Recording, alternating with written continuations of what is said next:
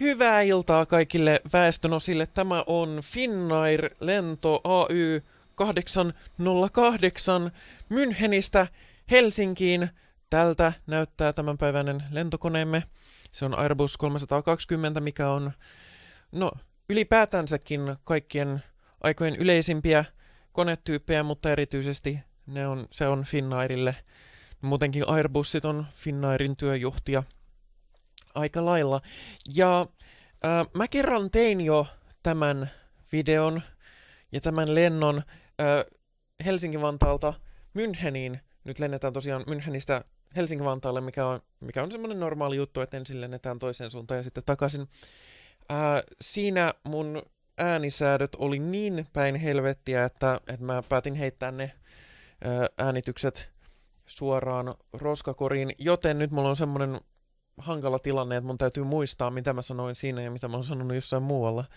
Ää, etten toista itseäni, mutta en myöskään jätä ää, asioita huomiotta. Ää, tämä on Airsoftin, ei Airsoftin, Aerosoftin ää, Airbus-sarjan mallinnus, joka mallintaa kaiken A318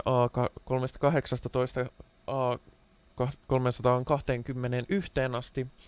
Ja tämä on siitä huomattavaa, että simulaattori maailmassa tuppaa olemaan aika kova äh, Boeing äh, monopoli, etenkin mitä tulee niin kuin ihan kunnon äh, simulaatioihin. Ja tämä on ehkä ainoa tosi uskottava, ainakin tähän asti. Mä tiedän, että on yksi ryhmä on tekemässä A320, mitä odotan kanssa ihan mielenkiinnolla. Mutta tosiaan tämä on niitä ainoita tällä hetkellä, ellei peräti ainoa uskottava Airbus-simulaatio. Ja se on itse asiassa, no ei sinänsä ole sääli, että, että tota, tämä on olemassa, mutta sinänsä sääli, että niitä ei ole enempää ja niitä ei ole monipuolisemmin kuin tämän yhden sarjan koneista, koska Airbusin laajentaminen on itse asiassa hyvin miellyttävää ja hyvin mielenkiintoista, ja niistä eroista puhun tämän tämän videon aikana. Myöskin aion tehdä samalla tavalla, että kun lento on ohi, niin teen sen vertailun siihen, mitä on, kun tässä tulee, simulaattorissa tulee myös mukana A320, se on todella karu. Se on ihan karsee. Se on vielä pahempi kuin se vertailu siitä, mutta nyt tämän ö, videon tarkoitus on näyttää koko lento alusta loppuun. Ää, ja tähän suuntaan se sujuu oikein mallikkaasti sen puolesta, tai itse asiassa ei, se sujuu aika per, päin helvettiä, mutta mä tulin ehjänä perille, ja se on olennaista. Ää, joten sinänsä harmi, että se nyt sitten jäi pois. Mutta sitten taas toisaalta hyvin näppärää, että ää, mä pääsen tekemään sen uudestaan, ja toivottavasti vielä mallikkaammin. Ja siis tässä välissä sen edellisen ja tämän videon välillä mä oon uudelleen asentanut koko simulaattorin, rutjannut asetuksia ja muita. Se näyttää paremmalta, pyörii paremmin ja muutama bugi on hävinnyt, jotka ne jälkeenpäin olikin itse aiheutettuja, joten ruvetaan lentämään. Tai no itse asiassa ruvetaan valmistautumaan siihen, että voidaan lentää ensin ulkoinen virta päälle. Me ei nyt tarvita vielä APUta, mutta tuosta patterit päälle – Ähm, jo heti ensimmäinen asia, mikä tulee vastaan, on se, että yleensä kaikissa elektronisissa asioissa ja myöskin äh, Boeingissa on se, että jos jossain on valo, niin se on päällä. Ja jos siinä ei ole valoa, niin se on pois päältä. Tässä täytyy koko ajan seurata tarkkaan, että kummin päin se logiikka menee. Esimerkiksi nämä polttoainepumppujen logiikka on se, että niissä palaa valo, kun ne on pois päältä. Samoin akuissa – ää, niin se on aina välillä vähän silleen, että miten tämä nyt menee, ennen kuin on oppinut ja tottunut. Oppinut ja tottunut näihin. Ecam on. Mikä on Ecam? Tässä on ollut muuten perusti väliä tässä uh, uh, tota, lentojen välissä, niin sen takia on tota, ollut kaikenlaista. Ää, kyllä ohjeistetaan, että ei, kyllä mä ollaan ulkoisella virralla säästetään sähköä. Ähm, interior lighting, eli sisävalot, joo, ne on, niin kuin, on, meillä on dokumentaatiossa mun kädessä, luen siitä justiinsa nyt.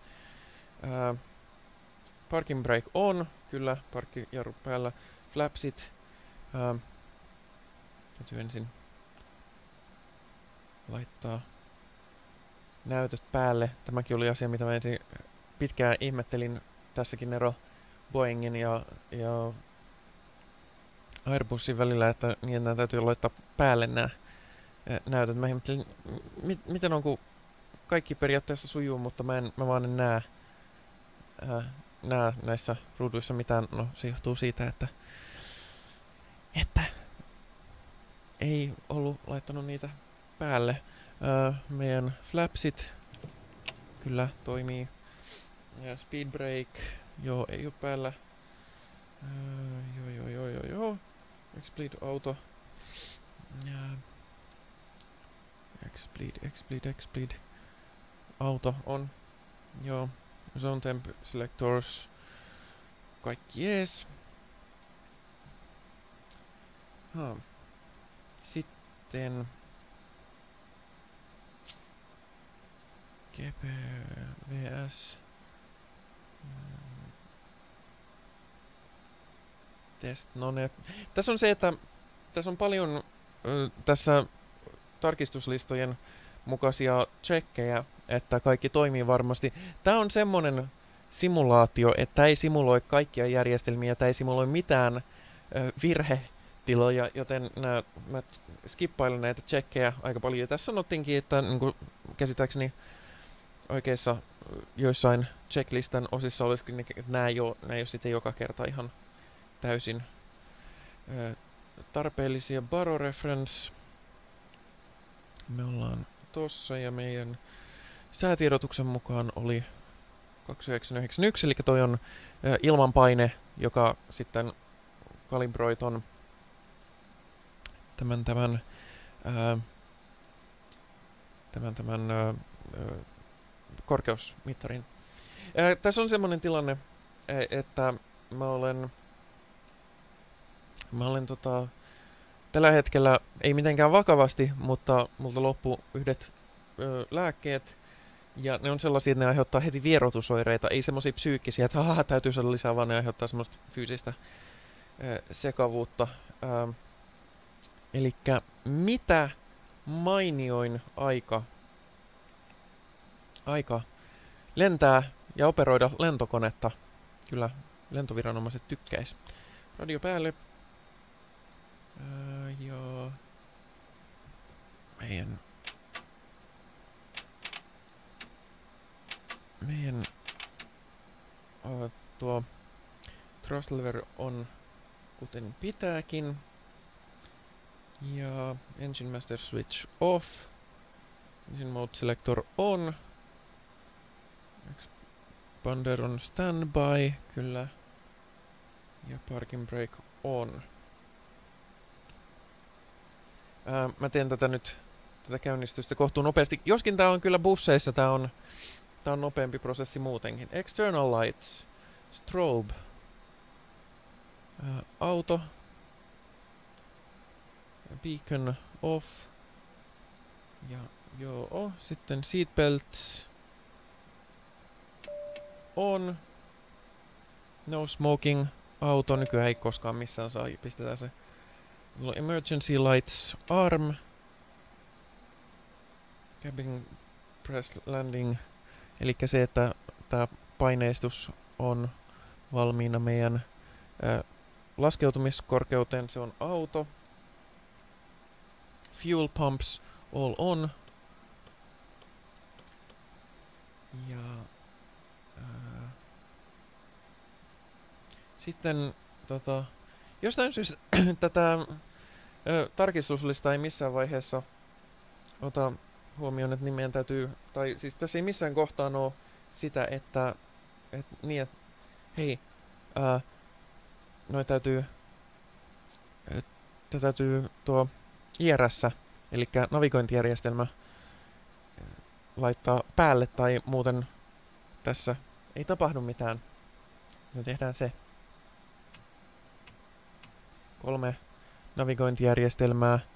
Air Align 5 minutes. Se on itse asiassa nopeampaa kuin normaalisti. Se menee yleensä kymmenissä minuuttia, niin kun jos joku on katsonut sen 7 eli 7 videon, niin huomaa. Samaan aikaan ää, voisin esitellä, tämä on siis, tämä on siis, tämä on aika uusi ja niin kuin verrattuna jopa siihen 747 mallinnukseen, joka ö, on kohtuu vanha. Mä en muista miltä vuodelta se on, mutta tämä on uudemmin. Niin tässä on tällaisia, tämä on esimerkiksi ihan hauska tässä sivussa tämä näyttö, mistä näkee näitä. Ja sitten tässä on tämmöinen lievä immersiota ää, rikkova juttu, että täältä löytyy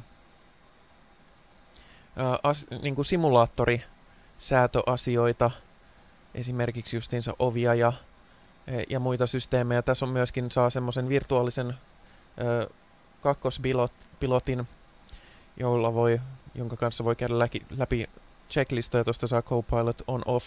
Mä en tee sitä, mä teen erillisen videon sit siitä, kun mä oon, jos mä jossain vaiheessa yksin ja haluan ruveta käyttämään sitä. Kaikki ovet on nyt auki, niin kuin pitääkin sillä. Ää, meillä on tulossa 180, ei kun 114 matkustajaa, 180 on maksimi, joten otetaan kyytiin. Meillä on 6,27 tonnia, ää, metristä tonnia ää, rahtia, eli matkustajien ää, matkatavarat plus ylimääräistä, ja meillä on 10,77 tonnia polttoainetta, joten jengi kyytiin bensatankkiin ja, ja rahti systeemi. Sitten tässä on myöskin tämmönen fuskaus instant-nappi. Eihän me nyt sellaisia. Tästä näkee myöskin sitten meidän center of gravity, eli meidän tasapainopisteen, mikä on ihan hyödyllinen tietää, kun ruvetaan, ruvetaan tota, säätämään täältä meidän lähtöolosuhteita, mutta ensin pitää kyllä odottaa, että IRS on, on tota, vuosissa kolme minuuttia siihen. Mutta niin, se on vähän... Tuosta nyt voi olla sitä tietysti kahdenlaista mieltä, että onko se nyt sitten kiva, että täällä on niin kuin, tää on täysin kuvitteellinen osa ää, tätä koko juttua, tämä toisen puolen lentotietokone, joka ei ole lentotietokone, vaan se on simulaattoritietokone, mutta tässä on kieltämättä ihan ä, puolensa. Ää, Connected Flight Deck on myöskin sellainen, että tätä voi lentää netissä jonkun kanssa, että voi olla kaksi lentäjää, jotka lentää samaa konetta, mikä on, jos lentää vaikka hirveän pitkää lentoa, niin on ihan kiva. Toisaalta 320 sarjan koneet ei lennä kauhean pitkiä lentoja. Viisi tuntia taitaa olla tyyliin aika pitkälti maksimi lentoajat. Ground Services. Uh, joo. Tuossa on External Power Disconnected, vaikka se on meillä päällä. Shh. Ei, ei kiinnitetä siihen mitään huomiota. Kaksi minuuttia IRS Alainiin. Tota, tässä on semmonen... Ää, tässä on sellainen ää, erikoisuus, että toi navigaatiodata, mikä on, tulee tuossa lentotietokoneen mukana, on uudempaa kuin mitä tämä simulaattori on niitähän päivitetään ymmärrettävästi tietysti koko ajan, ää, mikä tarkoittaa sitä, että välillä se ei tunnista joitakin ää, navigaatiopisteitä, siinä saattaa olla vääriä taajuuksia ää, noissa lentokenttätaajuuksissa, ja se aiheuttaa tiettyjä epämiellyttäviä tilanteita aina silloin tällöin, mutta ne on kaikki ongelmattomia asioita sinänsä. Sitähän voi päivittää sitä navigaatiodataa. Mä en ole koskaan tehnyt sitä, koska A, se on sille jatkuvasti maksava palvelu.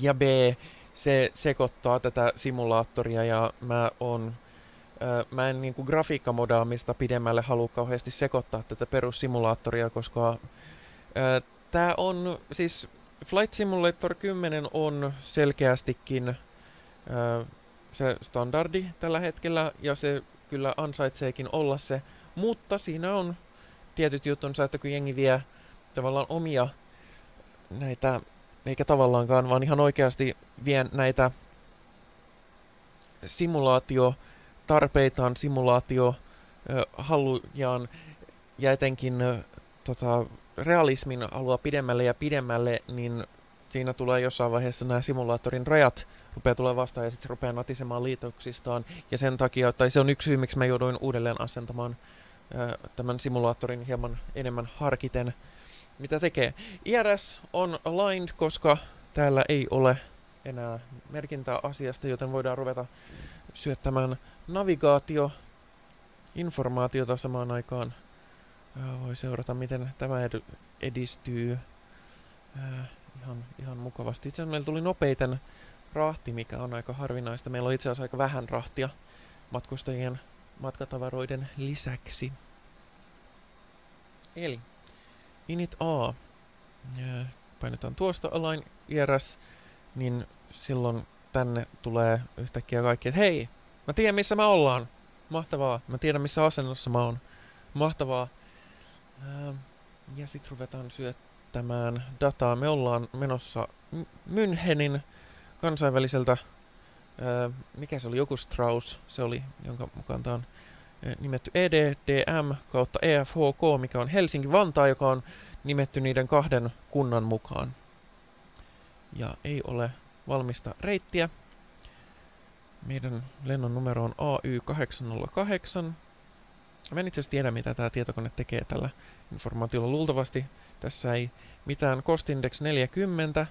Mä muistan, onko mä selittänyt tämän jo, jossain, mutta 100 on se, että mennään polttoaineesta riippumatta niin vauhdilla kun ikinä vaan päästään, ja nolla on se, että, että säästetään niin paljon polttoainetta kun vaan pystytään. Ja pääsääntö on se, että mitä fiinimpi lentoyhtiö, niin sitä enemmän ne käyttää polttoainetta. Sen takia ne, se on yksi syy, miksi ne maksaa enemmän. Suunniteltu lentokorkeus on 32 000 jalkaa, mutta se luultavasti muuttuu. Siellä on leppoisat miinus 49 astetta. Sitten ruvetaan syöttämään meidän ää, tuota, ää, lentoreittiä, joka täytyy tehdä käsin. Ja tässä mun, mä tein tän jo kerran aikaisemmin, koska täällä on tosiaan se, mitä tämä tarjosi oletuksella, niin se ei ymmärtänyt näitä kaikkia ää, välietappeja, tai sitten se antoi vääriä välietappeja, ähm, joten mä jouduin muokkaamaan sitä, käymään tämän kerran läpi tämän tietokoneen kanssa ja katsoa mitä ymmärtää. Ja joskus se sanoi, että joo, kyllä mä tiedän ton, ja sitten se on niinku tyylin toisella puolella maapalloa, sekään ei ole hyvä. Ne on hyvät sekata etukäteen, mutta se alkaa sillä tavalla, että ensimmäinen on vor, eli öö, se oli joku omnidirectional radio. Okei, okay, mä en muista mikä on vuoro. Ähm, RDG. Rudno. Ja tää on aika ärsyttävää tehdä tällä. Siksi on näppärä, että mulla on yhteen ää, koneeseen, josta mä ehkä on tehnyt videon. Niin mulla on softa, että mä voin kännykällä tulee niin näkyviin tää, ja sit voi tökkiä kännykällä sitä, se on näppärää. Tää on tosi tylsä vaihe, mä vaan kirjoittelen näitä ja klikkailen näitä tonne Agnav. Agnav. Niin tässä kohtaa päästän teidät hetkeksi pahasta. Palataan asiaan, kun olen kirjoittanut nämä. Sitten on kirjoitettu kaikki pykälät ää, meidän lentosuunnitelmasta. Jos haluaa olla tosi, ja oikeassa elämässä nyt olisi parempi olla tosi tarkka, niin tämä kannattaa ja pitää tarkistaa, että se nyt varmasti ymmärsi kaiken oikein. Esimerkiksi voi katsoa, että Luros on 26,6 merimailia edellisestä ää, pisteestä. Tuolla näkyy 29, mikä tarkoittaa, että se on taas vähän päivittynyt tästä, mutta se on kuitenkin ö, rajoilla, mutta esimerkiksi Mirvo 77.4, 77, eli koko ajan käsit ollaan oikeilla pisteillä. Ja näitä on tietysti, kun nämä nimet, mä en tiedä miten nämä nimet muodostetaan, mutta niin kuin balit, jos kirjoittaa vaikka balti, niin sit voi päätyä aika väärään paikkaan. Kyllä sen sitten yleensä huomaa myöskin, koska se piirtää sen meidän reitin tänne. Ää, niin, täytyy vielä ottaa tuolta tosiaan tuo ää, viimeinen flight plan discontinuity. Meillä ei ole discon, discontinuity, vaan otetaan, äh, unohdan aina, että kumpi nappi se oli. Otetaan se pois. Meillä, että ei ole tässä kohtaa mitään ö, rakoa, vaan että mennään miltasta EFHKlle. Ää, ja siinä se on. Meillä ei ole alternatiiveja, koska no, meillä ei ole, koska mä en ole suunnitellut, että jos tapahtuu jotain, että, että Helsingin Vantaalle ei voikaan laskeutua, niin mennään mikä oikeassa elämässä tietysti on ihan sellainen, niin kuin, että totta kai. Mutta, mutta siinä on se, että mä en, mä en usko, että tapahtuu mitään sellaista. Simulaattoreissa voi ottaa tällaista, tällaisia vapauksia. Init B. Meidän, meillä on polttoaineen määrä on 10 000 tai 10.7, mikä nähtiin täältä 10.77. Öö, siitä se laskee meidän, että aha, tämän verran tulee meille öö, polttoainetta. Öö, RSV. Joo. Final time. Enter block fuel. Insert zero fuel weight. Meidän zero fuel weight on on itse asiassa ää, pitää paikkansa 57.1. ja sen mä sain tuolta, kun mä suunnittelin polttoaineen, niin se sanoi, että joo, tämän, tämän verran painaa siis lentokone kaikkinensa ilman polttoainetta ja sitä kautta sitten laskee kaikenlaisia asioita. Sitten joo. performance meidän meidän flapsit on lähdössä kaksi.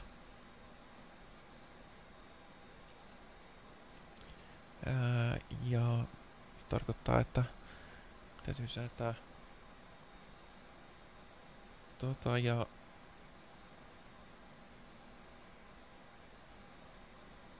pressing the LKS. Oh.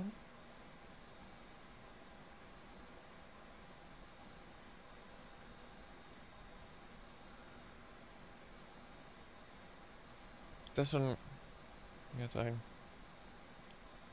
Mä en nyt osaa jotain, mutta ei se mitään. ähm, Radnav on, on ihan oikein. Joo, meillä ei ole vielä mitään ILSstä, mikä on, mikä on hyvä. Ähm, mä en tiedä vielä, mitä kautta me ollaan lähössä, mikä on itse asiassa asia, mitä meidän kannattaa kysyä. Eli ruvetaan käyttämään radiota. Ähm, 1, 2, 1, 7, 5. Sitten mä 2, 5.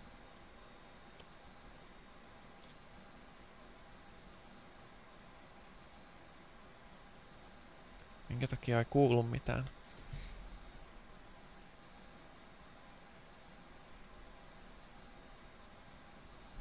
Meidän squawk. Se on hauska, tässä voi ne, sen näpytellä, se on musta hauskaa. Ää. Tää on vähän ongelmallista, jos... Johtuuko jostain mitä... Ei. Meidän alku... Mä tarttisin oikeasti kuullakin tuon.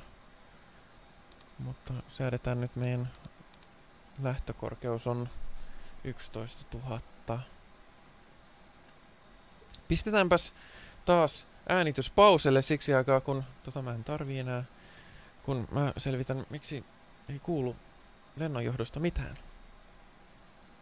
No niin, nyt tuntuu taas kotosammalta, kun tietokone juttelee mulle. Mutta sitten otetaan yhteyttä ää, tonne, tonne, tonne ää, groundiin, että mistä me ollaan lähössä. Ja tää on, tääkin on, missä mä oon huomannut, että kun mä oon enemmän ja enemmän kattonut videoita ja lueskellut lentooperoinneista oikeassa elämässä, niin tässä on kauheasti sellaisia tosi häkellyttäviä rajoitteita.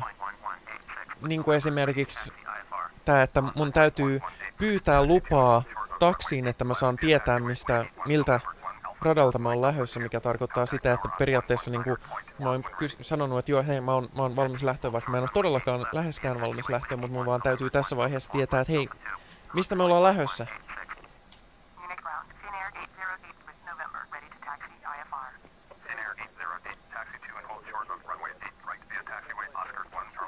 What? Tää on taas semmonen reitti, mitä se antaa, että mulla on tää kartta kyllä tässä mun kakkosnäytöllä, tai siis tabletissa. Ää, periaatteessa mä voisin sanoa, että tää on taas antanut niin, niin häkellyttävän taksireitin, että mä oon niinku sille, että okei, okay, mä vaan laitan sen progressive taksin päälle.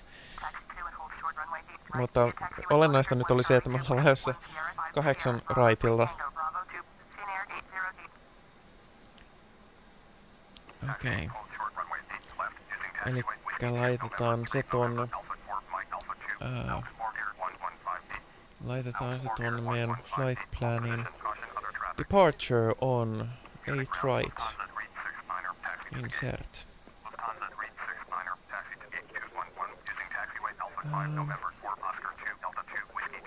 Joo. Nyt sen pitäisi... Joo, nyt se antaa nää V1 on siis se nopeus, millä on niinku, sit vaan niinku lähetään, eikä meinata, että ei ole enää tarpeeksi ö, tota, kiitorataa jäljellä, että voisi jarruttaa VR, on, kun ruvetaan nostaa nokkaa ja ö, V2 on se, että ö, alku lähtö nousunopeus onpa muuten antaapa sen muuten tosi niin kuin solmun välein. Mä en ole ikinä nähnyt tollasta. Tosi häkellyttävää. No, eipä siinä mitään.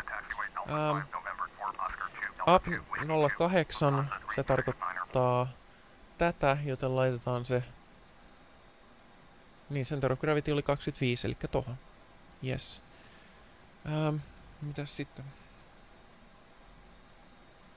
Fuel quantity on oikein. Pre-flight briefing, joo. Me ollaan lähes 08. Ja nyt kuten näkee, niin tuosta tuohon on tullut meidän reittiä on tullut näkyviin meidän lähtö kiitoratakin ja kaikkea. Uh, cockpit crew checklist, pre-flight briefing, joo, cabin signs, joo, fuel quantity, joo, take-off data, joo, altimeter, joo. Okei. Okay. Sitten. Mm. ATCltä on pyydetty lupa lähtöön, sitten ruvetaan sulkemaan ovia. Uh, Musta ehkä näyttää siltä, että... Joo, me varmaan halutaan APU tässä vaiheessa päälle, koska me, me ruvetaan seuraavaksi liikkumaan ja... Tota... Siinä kohtaa se ei oikein... Kun external power tarkoittaa sitä, että me saadaan nyt niin kuin tähän koneeseen kytkettyyn, kytketyltä virtalinjalta virtaa, niin se ei toimi, että jos me liikutaan samaan aikaan, kun me tehdään sitä. Joten käynnistetään meidän APU. APU on siis semmonen pieni moottori, joka ö, tuolla ihan, ihan vaan käy tuottamassa tai käy ja tuottaa sähköä. Se on vähän niin kuin aggregaatti ö, lentokoneen takaosassa. Se kuluttaa vähän polttoainetta, mutta se on APU available. Tuli juuri teksti, jota on... Uh, Ja tossa, nyt mä taas katsoin, että niin, off on se, että valo palaa, eli se on, tota, se on siis päällä, joten otetaan external power pois. Ja meidän pitäisi käyttää nyt APU-sähköä, mutta koska nämä joskus on vähän häkellyttäviä, niin mä aion vielä hätävarjelun varmistamiseksi mä aion tarkistaa, että meillä oikeasti on sähköä. Kyllä. Mm, joo, kyllä. Meillä on sähköä ja mä aion väännellä mun joystickia, että tulee kalibroitua, koska tää ei itse itseään tota, osaa, osaa kalibroida. Okei, okay. sitten suljetaan ovia.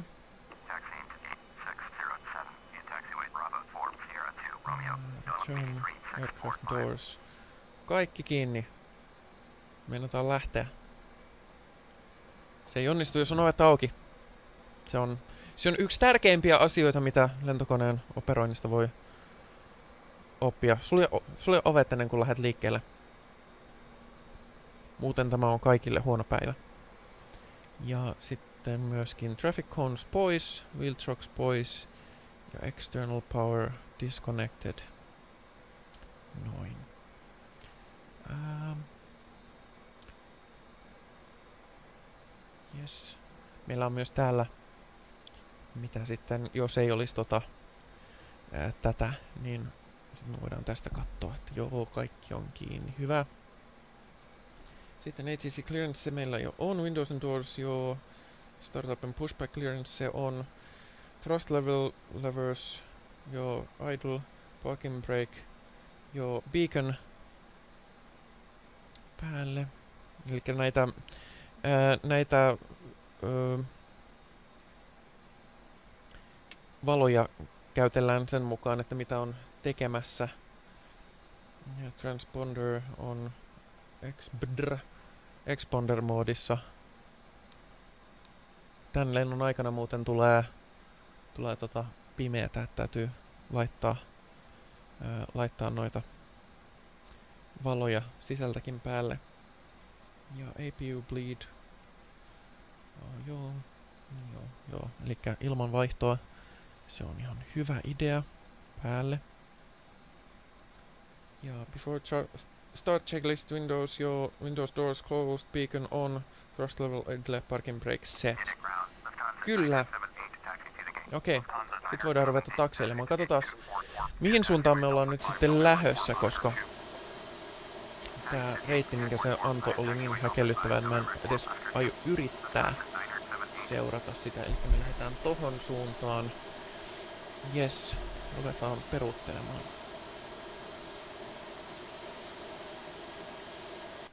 Ja pistetään parkkiaro pois päältä, se on kohteliasta myöskin tässä kohtaa.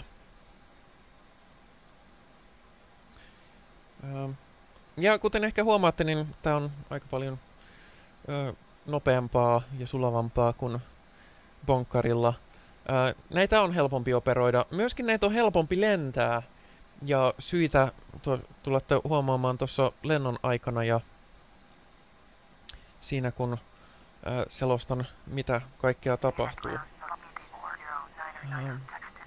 Normaalisti moottoreita ruvetaan ö, käynnistelemään tässä vaiheessa, mutta koska tämä on simulaattori ja tämä toimii vähän miten toimii, niin mä aion, aion, mä aion, tehdä, sen, silleen, että tehdään vain yhtä asiaa kerralla.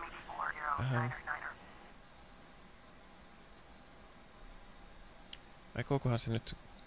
Tääkin on ihan sattumanvarasta, että kääntääkö toi oikeasti meitä sen pitäisi periaatteessa kääntää meidät silleen, että meidän perä osoittaa tohon suuntaan, mutta se toimii tosi epävarmasti, mikä on tosi inhottavaa, mutta sovitaan, että me jäädään tähän. Okei, okay, parkkijarru päälle. Sitten engine mode. Ignition. Ja engine 2 start. Ja sitten ruvetaan katsoa, että täällä asianmukaisesti N2 rupeaa nousemaan N1 rupeaa nousemaan ja jossain vaiheessa se jyräyttää itsensä kunnolla päälle.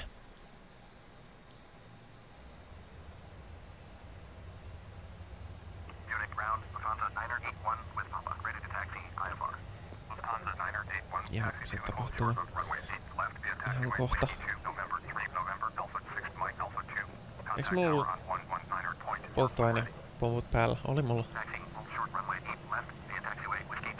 Joo, kyllä se lähti. Hyvä. Ja sitten sama Engine One. Kaksi moottorisia koneita ei pidä turvauttaa käyntiin. Mitä pitää tätä nimeä? Se kuulostaa vähän siltä, että vähän potkustarttia kaipaa. Tosi outo. En tiedä mistä se tulee, toi ääni, mutta se tulee aina siinä toisen. Mä oon käynnistänyt näitä myös toisessa järjestyksessä, että ensin ykkönen ja sitten vasta kakkonen. Ja se, tota, se on jännä se, niinku, se pitää aina se toinen moottori tulla sitä ääntä. Okei, okay, ja sitten Engine Mode Select on normaali. Kyllä ne on molemmat tasaantunut tohon. Aha, nyt on tullut sen verran hämärää, että öö, nämä pikku pikkukuvat näyttää, että meillä olisi olleet päällä. Mä en ole vielä laittanut sisävaloja päälle, joten sen periaatteessa tietysti voisi tehdä tässä ennen lähtöä. Niin. Meillä on täällä muistaakseni... No niin. Pikkasen valossa. Mikä, se, mikä toi? Se oli joku, varmaan joku graafinen bugi. Mä toivon, että tosta ei lentänyt kukaan. Ah, sitten APU bleed off. Koska nyt...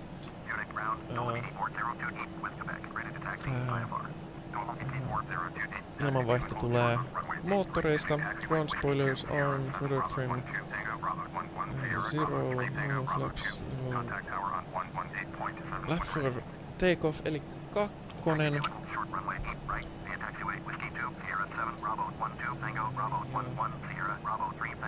Pitch trim on säädetty.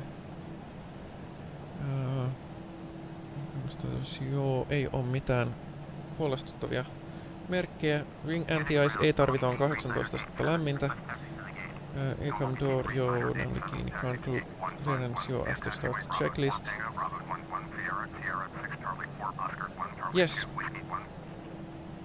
Sitten lähdetään. Ei kun valoja päällä. Joo. Hyvä idea. Um, taksivalot päälle.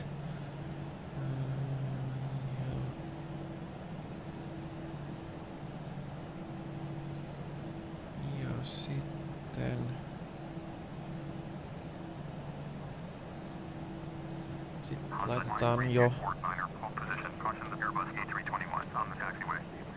Näin. Okei, okay. sitten ruvetaan... Ruvetaan takseilemaan. Tää liikkuu tosi ilahduttavan hanakasti tää 320, joka on siis suunnilleen yhtä se on siis koltaan se on suunnilleen tämän koko rungon läpimitta on suunnilleen sama kuin 747 yhden moottorin läpimitta, joten se ehkä antaa jotain, jotain suhdetta näiden koko erosta, joten sen takia tämän takseilukin on aika paljon lepposampaa. Ähm, joo. Ähm, mä sen takia tätä on myöskin ihan kohtuu helppo ohjata täältä ihan ohjaamosta katsoen. Toisin kuin siinä 77, mun täytyy mennä tonne ihan maan tasolle katsomaan tai tavallaan käyttämään semmoista kameraa, mikä on oikeassakin koneessa siinä etumaisessa laskutelineessä, jonka mukaan sitten voi ohjailla sitä, mitä tekee Tuossa on meidän muuten take-off checklist tulee näkyviin tähän, mikä sekin on näitä Airbusin mukavia, ää, hyvinkin käyttäjäystävällisiä. Katsotaan keskiksi me pysähtymään ton rekan tai ton auton takia tuosta. Ei kyllä se taisi mennä verran. Mut niin, niin verrattuna bonkareihin, niin toi on ihan näppärää, että sen sitten näyttää, että no, auto brake, max. Mä itse asiassa unohdin laittaa sen päälle. Spoilers are. Mulla ei ole siihen, tota, mulla ei ole siihen oikeesti ää, nappia, joten mä en voi tehdä sitä. Ja take off config on, on muuten ihan, ihan selkeä. Tota, koska mulla on vain yksi nappi spoilereille ja se on toi... Öö, ei ole niinku ground spoilereille erikseen, niin musta simulaattori se ei ole sitä, joten mä en ole ihan varma mitä nappia mun pitäisi painaa, koska myöskään tässä simulaatiossa itsessään ei ole tämmöistä niinku painettavaa nappia niin kuin tuo ja pois. Mä en halua sitä oikeasti päälle tässä vaiheessa. Um, autothrottle, eli toi nopeuden säätö toimii hyvin eri tavalla, mutta mun mielestä hyvin paljon miellyttävämmällä tavalla kuin ää, noissa ää, bonkkareissa. Myöskin musta tää on hieno juttu. Jos esimerkiksi nopeus on moodissa viiva viiva viiva piste, se tarkoittaa sitä, että tietokone kontrolloi sitä. Samoin heading, se on viiva viiva viiva piste. Tietokone kontrolloi sitä. Mutta sitten tässä taas on numero, joka tarkoittaa, että minä kontrolloin sitä. Eikä tässä tapauksessa korkeutta.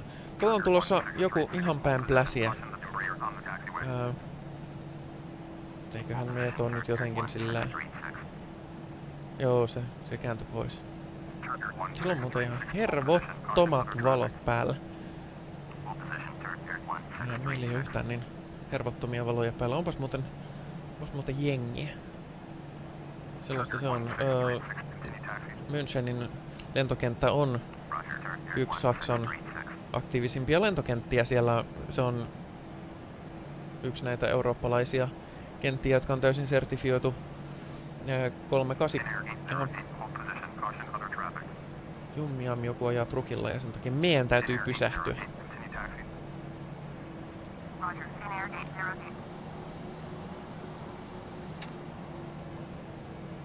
Et tuu sitten päälle, jumalauta. Kuka se on? Tai mikä se on? Se on saman kokoinen kone, varmaan sekin oli joku bussi, mutta tota, en nähnyt firmaa. Mutta ei se tullut päälle, niin ei sillä nyt ole niin väliä. Mut niin, niin se on yksi näitä, joissa on vahvennetut, öö, vahvennetut kiitoradat ja taksiväylät, että, että tota, voi, täällä pystyy liikkumaan myös 380.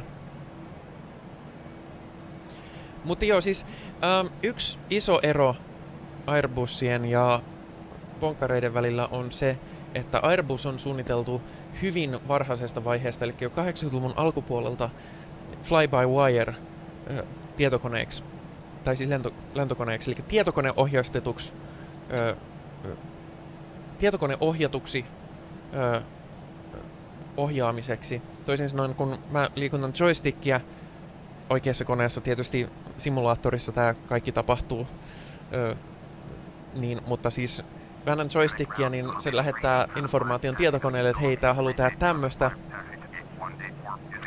Ja se ö, tota, sitten välittää sen ö, sähköisesti näille lentopinnoille tai ohjauspinnoille ja sitten kaikki on iloisia. Kone tekee sen. Boeing tekee nykyisin samoin, mutta pitkän aikaa niin niillä oli se, että ne oli ihan niin kuin, siellä meni vaijerit ja, ja tota, ne vaijerit, vaijerit oli suoraan yhteydessä ö, kontrollipintoihin.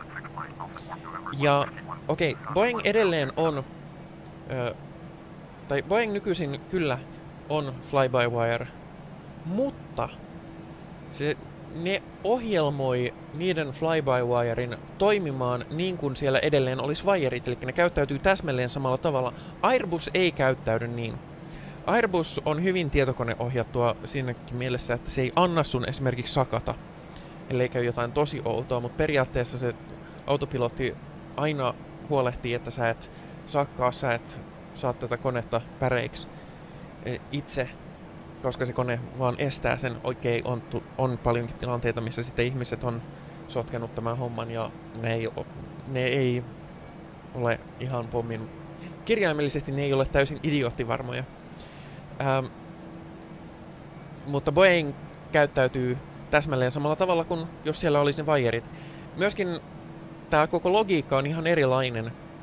Öö, tässä tuli näissä dokumentaatioissa tuli, tuli tässä, öö, kokonaan sellainen luku kuin Weird and Wonderful Airbus Logic, jossa selitetään justiinsa näitä eroja, koska johtuen siitä, että melkein kaikki korkealaatuiset mallinnukset on Boeing-mallinnuksia, niin sen takia öö, Boeing logiikka on ihmisille tuttua ja Airbussit tuntuu oudolta. Mutta yksi niistä on se, että näiden lentologiikka on sellainen, että jos mä asetan koneen tiettyyn asentoon, niin se kone vaan pitää sen asennon.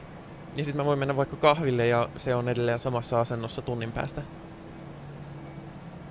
Ähm, kun taas Boeing ei toimi ihan sillä tavalla, se on enemmän suhteessa siihen, että miten sä ohjeistat tai sit ohjaat sitä ja se ei kyllä itse kato yhtään, että miten se on, vaan sitten se vaan seuraa aerodynamiikkaa ja painovoimaa ja muita jänskiä asioita laittaa vielä noin ohjeet päälle, kun,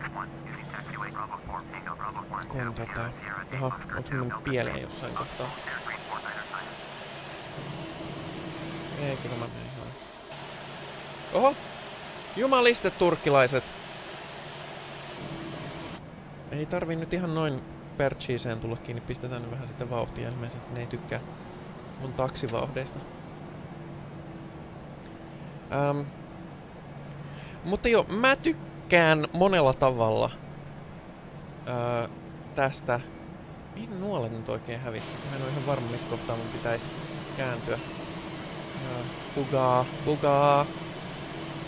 Bugaa myöskin valot. Ää, minne mun pitää mennä? Pitääkö mun kääntyä tästä vai pitikö mun kääntyä vasta seuraavasta? Ei kai sillä ole väliä. Sieltä menee odottaa kun toisen rohtukoneen taakse sovitaan, mä käännyn vasta seuraavasta. Jos tuo Turkki kääntyy aikaisemmin, niin sit se oli luultavasti se oikea reitti. Ei kyllä taitaa seurata. Jalo seuraa se. Eikä näistä. Joo. Um, mutta, mutta erityisen paljon mä tykkään siitä, kuinka toi autotrotle, eli eli vo, voimansäädön tai tehojen automatisointi toimii ja siihen päästään ö, enemmän ihan kohta, kun, kun tota, päästään lähtemään. Joskin näyttää siltä, että täällä on aika vilkasta, joten siihen saattaa mennä hetki ennen kuin me päästään lähtemään. Ei, ei tungeta yhtä persiiseen kuin nuo turkkilaiset.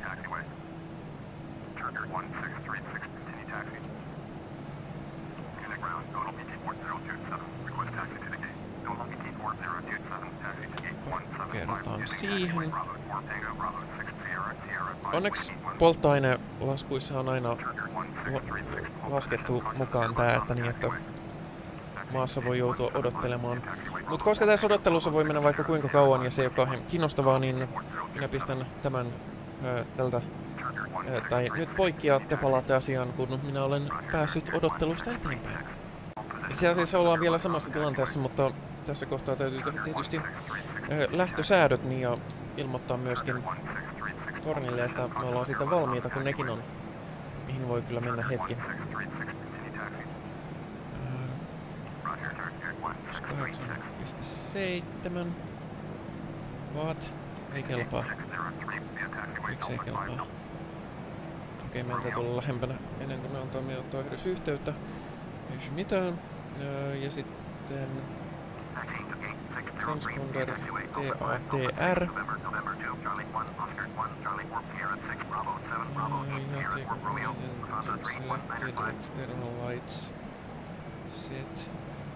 Mä en itse tiedä mikä on korrekti, korrekti valo hässäkkä tähän, joten laitetaan vaan kaikki päälle.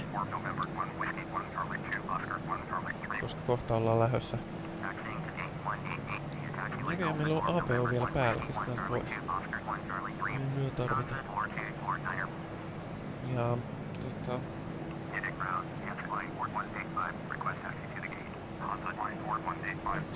On. Onks meillä, onks meillä ilmastointia? Ei, on, joo. Okei, okay. siinä se oli. Me ollaan periaatteessa valmiita lähtöön, mutta lentokenttä ei ole. Katsotaan, taisi me nyt... Me ollaan kuitenkin tässä ihan odotteluasemissa. Yleensä tässä vaiheessa simulaattori antaa kyllä ottaa yhteyttä. Sanoo, että hei me ollaan valmiita lähtöön, mutta ei sitten. No joo, mutta palataan sitten kun me ollaan oikeasti valmiita lähtöön.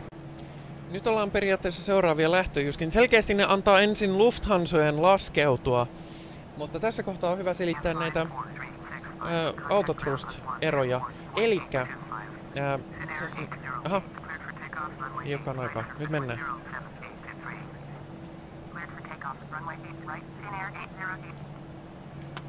Okei. Okay. Uh, autobrake maximum. Meillä on kaikkia. Mä säädin tällä välillä tohon, että toi on meidän lähtösuunta, eli tämän, tämän, tämän ö, kiitoradan ö, tuo kurssi, eli pidetään kiitoradan kiitoradan suunta, kunnes toisin ilmoitetaan. Sitten vaan hanat kaakkoon ja menoksi. Eli tää menee automaattisesti toga-moodiin, eli take off, go around. Tässä tapauksessa take off, koska me ollaan lähdössä liikkeelle. Toga, toga, toga, tai jotain sinne päin. Okei. Okay. Nyt mä katon visusti tuonne ää, vasemmanpuoleisimpaan näyttöön. Samalla kun mä katson, että ollaan oikeassa vaiheessa ja tuossa tota, on meidän E1 ja Rotate. Lähdetään nostamaan. Sitten Positive Rate Gear Up. Ja autopilotti päälle. Runway Track on päällä. Eli me kuljetaan Tonne.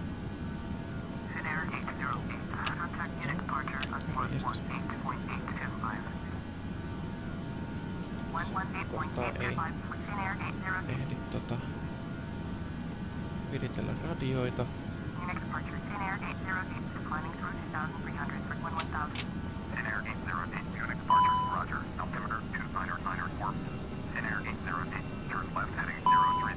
Oho. Turn left heading 075. Okei, meillä on nyt jotain hämminkiä meidän autotrotlissa. Justiinsa kun mä menin kehumaan niin sitä, että kuinka mainio se on, niin tää tota, tykkää siitä. Oh.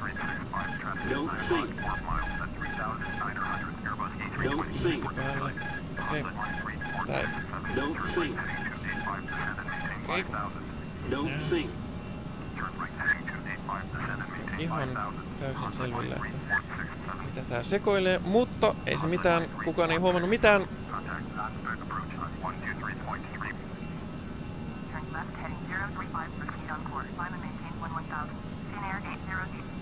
Miksi meidän... Miksi tota...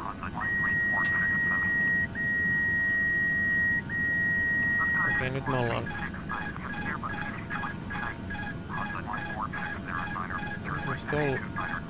Sakattiin. Uh, tässä on jotain hyvin outoa nyt. Okei, nyt meillä rupeaa vihdoin nousemaan, nousemaan nopeuskin. Tämä on hyvin häkellyttävää.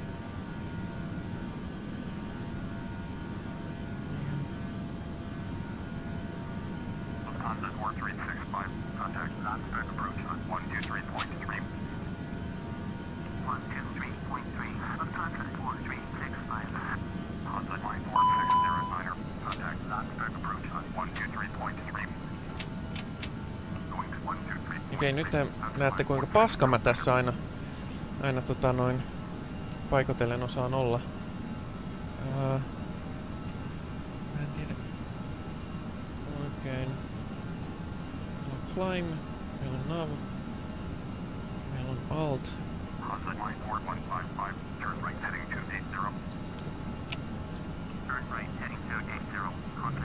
Äh. What?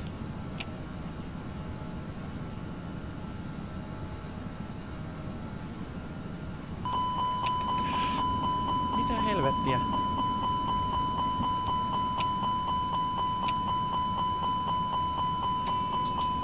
No yhtäkkiä kauheasti ylinopeutta. Mutta ei kyllä pitäisi olla. Okei, tää on nyt näitä vaarallisia tilanteita, joilla mä oon ihan pihalla, että mitä, mitä tästä tälle tota... Mitä meidän lentokoneelle on oikein tapahtumassa. Ja miksi? Speed... Hetkinen. Ah. Okei. Siihen oli hyvin inhimillinen selitys. Mutta oikeastihan kukaan ei, kukaan ei huomannut mitään. Mä painoin väärää nappia.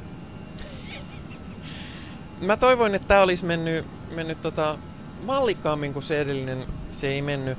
Ää, syytetään, syytetään tota, ää, mun noita vierotusoireita. Myöskin ää, täytyy sanoa, että mä olin siinä mielessä hauskaa, niin pistetään mut kello pyörimään. Nyt se laskee minuutteja ja tunteja siitä, kun mä, mä sain jotain hajua siitä, että mitä on tapahtumassa ja miksi. Ähm, mitä tapahtui oli se, että mä hä- mulla hävisi hetken aikaa ihan kokonaan käsitys siitä, että mitä on tapahtumassa ja miksi johtuen siitä, että mä hämmennyin mun oman joystickin napeista. Ja sen sijaan, että mä olisin nostanut laipat, mä laitoin ne täysille ja ihmettelin, että kuinka kone voi olla menossa ylinopeutta tähän aikaan. Ja sitten mä en enää tiennyt, että oliko mun äh, noi äh, laskutelineet väärässä asennossa, mikä oli väärässä asennossa, mutta mä otan sellaisen kunnian asiassa itselleni, että vielä sanotaan pari kuukautta sitten tää olisi... Tää olisi johtanut katastrofiin ja me oltaisiin luultavasti rysähdetty. 0.65.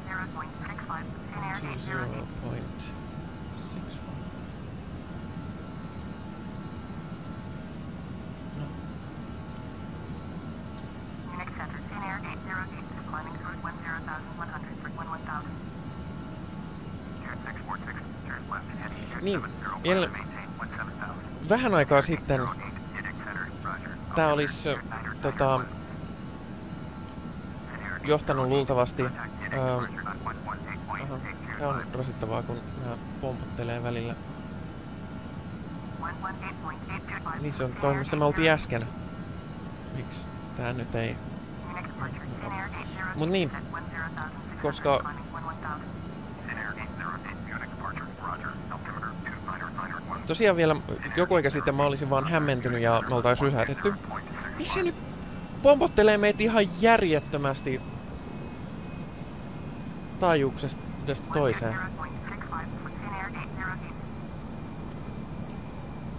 Ja sit se vaihtoi sen tossakin välillä. Nyt, Mut niin.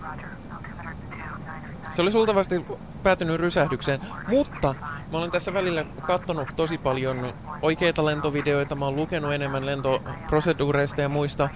Ähm, ja otan itselleni hyvin lievän kunnian siitä, että mä, mä pidin lentokoneen lentämässä niin kauan kunnes mä sain, mä näin mikä oli vialla. Jos mä olisin ollut paremmassa kunnossa, niin mä luultavasti tota, olisin hiffannut sen kyllä nopeammin. Sitä, sitä ei voi, mutta nyt kyllä saa tietokone, tietokone viritellä radioita ihan niitä pompottelee mua tuolla tavalla. Ää, mutta niin, se, mä pidin lentokoneen lentämässä vakaana niin kauan kunnes mä ymmärsin, mistä oli kyse. Silmät olisi tosiaan, jos ei olisi ollut vieroja, niin mä varmaan olisin nopeammin bongannut, että hei, tossa on jotain pielessä ja hei, tuolla on jotain pielessä, tossa oli jotain pielessä. Nyt mä sekoilin hetken aikaa, katoin itse asiassa tätä indikaattoria, mikä oli ihan väärä paikka katsoa sillä hetkellä, ja myöskin näitä, mikä oli väärä paikka katsoa. Mutta ää, lopulta näin, että hei, okei, tästä kyse, korjataan tilanne pikimiten, ja nyt me lennetään sujuvasti. Okei, jos mä olisin oikeasti Finnair-pilotti, niin varmaan olisi tullut potkut, mutta... Shh, ei kerrota kellekään. Kukaan ei nähnyt. Kukaan ei nähnyt. Mut niin, ää, tässä samalla myöskin ää, tuli, tuli ö, todettua tämä... Mä kehuin sitä autotrottlea, se toimi ihan oikein. Mä itse sekoilin. Eli siis tässä se näkee hyvin. Tämä väli on manuaali säätöä, missä säädetään moottorien voimakkuus itse. Täällä ylhäällä on toga, eli take off, ää, take off go around. Tässä on tämmönen vakio tehon säätö ja CL on climb, joka itse asiassa on se, missä asennossa pidän näitä niin kauan kunnes laskeudutaan. Siis ihan muutama sekunti ennen kuin laskeudutaan, niin mä vetän sen nämä tehot pois ja reverserit päälle. Ja tää on nyt se, millä, mikä niin kuin vaan pitää meidät, koska täällä on kolme viivaa ja piste, niin se, se ottaa lentokoneesta meidän ö, ton ö, nopeus, optimaalisen nopeusinformaation ja lentää sillä. Ja se on yksi asia, mistä mä pidän hirveästi tosiaan Arbussissa enemmän kuin, kuin Bonkarissa, että tässä eroteltuu selkeästi, ää, eroteltuu, ei se ole mikään sana, ei se haittaa, ja painoin tuossa kohtaa standardi ää, ilmanpaine säätimen, koska nyt ollaan niin korkealla, että paikallinen ilmanpaineen vaikutus ei enää vaikuta ja sen takia ollaan standardissa. Se on 2992, joka oli siis vain yhden pykälän niin, tota, paikallista ää, enemmän, joten tuolla oli hyvin, hyvin tasainen tai neutraali ilmanpaine sillä hetkellä. Ähm, mutta niin, se erottaa tämän, tämän ja tämän toisissaan hyvin loogisella tavalla, mitä Bonkarissa mä en ole vieläkään oikein ymmärtänyt sitä YNAV-logiikkaa. YNAV on just niin tämä, joka laskee sun optimaalikorkeutta ja optimaalinopeutta. Mutta koska simulaattorissa ja kyllä oikeassakin elämässä lentokorkeus tulee lennon johdolta, niin sitä täytyy säätää itse automaattisesti. Mutta koska se linkittää ne kaksi, niin jos joku tietää, miten, miten sitä operoidaan oikeasti, koska mä en ole sitä vielä tajunnut, ää, niin, niin kertokaa, koska mä en ole saanut niitä eroteltu. Tässä se on tosi selkeää, jos mulla on tässä viiva viiva viiva piste, niin tietokone hoitaa, jos mulla on tässä numero, niin minä hoidan ja sama tietysti toisinpäin. Ja se on kauhean loogista, jos ja me nähdään se informaatio. Kaikki täällä me ollaan climb-tilassa. Meidän optimaalinen nopeus on 319 ää, ää, solmua tai 0.78 makkia. Ää, ja me ollaan asetettu 230, mikä oli se, mikä me hetki sitten saatiin tuolta, tuolta, tuolta lennonjohdolta. Ja täällä näkee cruisailu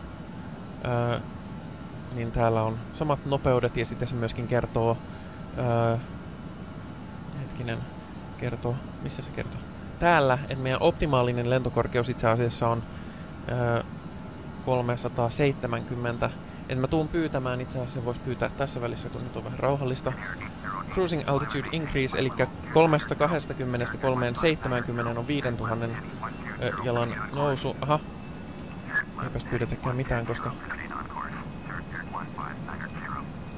koska tota... Koska tota... No niin, nyt voidaan pyytää et 5000 jalkaa lisää.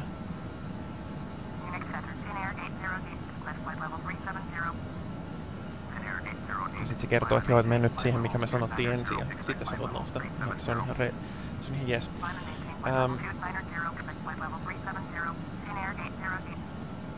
ja tota, joo, eli se saa täältä tietokoneelta saa informaatiota, että mikä meidän, ja mä itse asiassa päivitän tuohon meidän säädetty lentokorkeus on 370. Toi näyttää, että kuinka paljon sivussa me ollaan tuosta meidän ö, suunnitellusta lento- tai navigointisuunnitelmasta. Se on itse asiassa nyt lähimpänä mitä on. Meillä on aika paljon sivutuulta. Tuossa näkee suunnan, tuossa näkee on 34 solmua ää, läntistä, mikä on aika hurja määrä, joskin on nähnyt paljon hurjempia. Se on sitten kiva, kun saa semmoiset 130 solmua myötätuulta, niin sitä kulkee ihan tajutonta nopeutta eikä käytä paljon yhtään polttoainetta. Niin on aina kivoja. Ähm, ja niin. Tällä tavalla sitten mennään, kunnes ollaan saavutettu kruisailukorkeus ja sitten, ää, sitten, tota, sitten lennetään, lennetään perille asti. Ja joo, toi oli antaa nyt taas tietokoneen ö, viritellä itse. Itse tuon. Viritellä itse. Radiot, kun mulla oli ajatus kesken. Mutta niin. Tota... No niin. Mä, mulla hävisi se ajatus. Uh, en mä tiedä. Tätä, tällä tavalla mennään, kunnes ollaan Helsingissä, mutta mä annan aina välillä kiinnostavia tai vähemmän kiinnostavia tilannepäivityksiä. Nyt skipataan pikkupätkä tässä kohtaa. Se mikä on mukavaa näissä pienemmissä koneissa on, nämä on tosi ketteriä lentää. Ei kestänyt kauhean kauaa siitä, kun ää, tota, yhdestä, tai siis noustiin meidän kruisailukorkeudelle ja sillä aikaa, kun nyt ollaan kruisailemassa ja tässä nyt ei ole kauheasti tekemistä ajoittaisten radioiden ää, virittelyn lisäksi, niin esittelen vähän mitä täällä on. Tossa on siis meidän nopeus ja tuossa on meidän kurantin nopeus makkeena, koska me kuljetaan niin kova, että toi on makke-moodissa. Se on piste 784, eli 78,4 prosenttia äänen nopeudesta. Meidän korkeus. Tässä on hauskaa, että me saadaan nappia painamalla näkymään myös metreinä meidän korkeus, joka on 11 kilometriä 280 metriä suoraan ylöspäin. Musta se on aika huimaa tietyllä tavalla. Ää, meillä on Altitude Cruise-moodi ja sitten Nav-moodi, eli tietokone seuraa, seuraa meidän esivalittua lentosuunnitelmaa. Ähm. Sitten meillä on tuommoinen nappi. Se tekee jotain. Okei. Okay. ähm. Joo. Tällä välillä tein ihan vain pari muutosta. Mä laitoin meidän turvaviovalon pois ja mä laitoin meidän anti-iceit päälle, koska pystytään tältä katsomaan, että me, täällä on aika kylmä. Ää, toi on kai se kuran, tai siis kriittisin luku, koska, koska tota, tuo kertoo meille sen, että mikä on tämän rungon kokema ää, lämpötila, koska, koska me kun me kuljetaan kovaa, niin se aiheuttaa ilmanvastusta ja se kuumentaa runkoa, että periaatteessa ei vielä olisi tarvinnut, mutta koska ulkona on 54 astetta pakkasta, niin että jos nyt sitten kuitenkin. Ähm, joten ne laitoin tuolta päälle ja tietysti valoja säätelin äh, siihen moodiin, että ollaan matkalla, ei olla nousussa tai laskussa. Ähm, tuossa on meidän korkeus, tuossa on meidän korkeus liikkuma, eli pysytään tasan tässä. Tuossa on meidän asento. Varmaan ihan selkeitä. Sitten tästä näkyy meidän, meidän lentosuunnitelma ja muutenkin kartta. Jos sitä laittaa pidemmälle, niin mä oon laittanut sen sellaisen moodin, että tässä näkyy, tähän saa näkyviin kaikenlaista hauskaa dataa, mutta musta on, musta on hauska Tässä on siis ne kaikki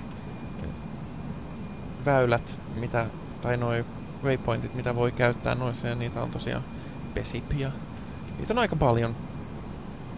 Se ei edes näytä niitä kaikkia. Mä tykkään pitää sitä tässä, missä näkee ö, lentokentät.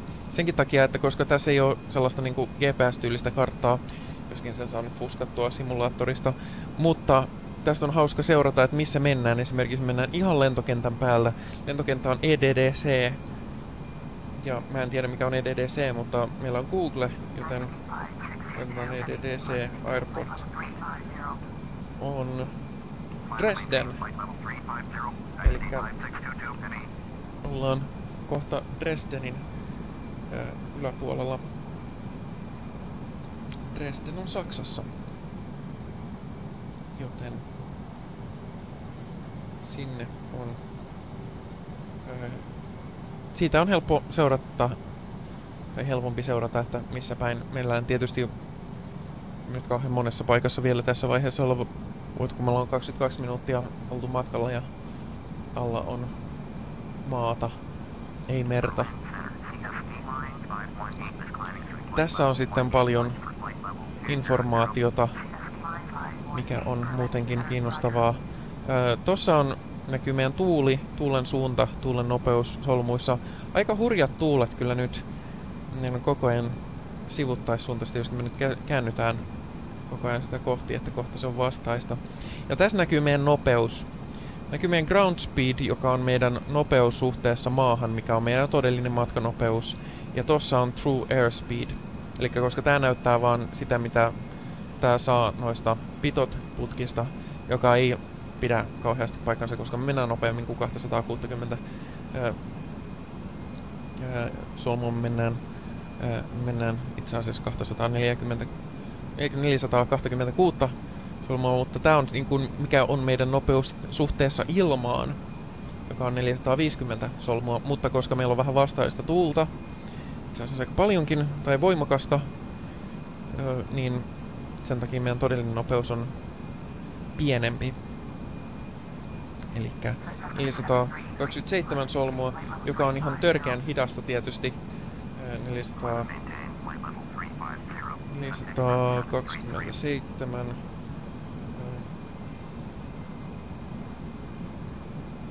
knots. Se on 219 metriä sekunnissa, eli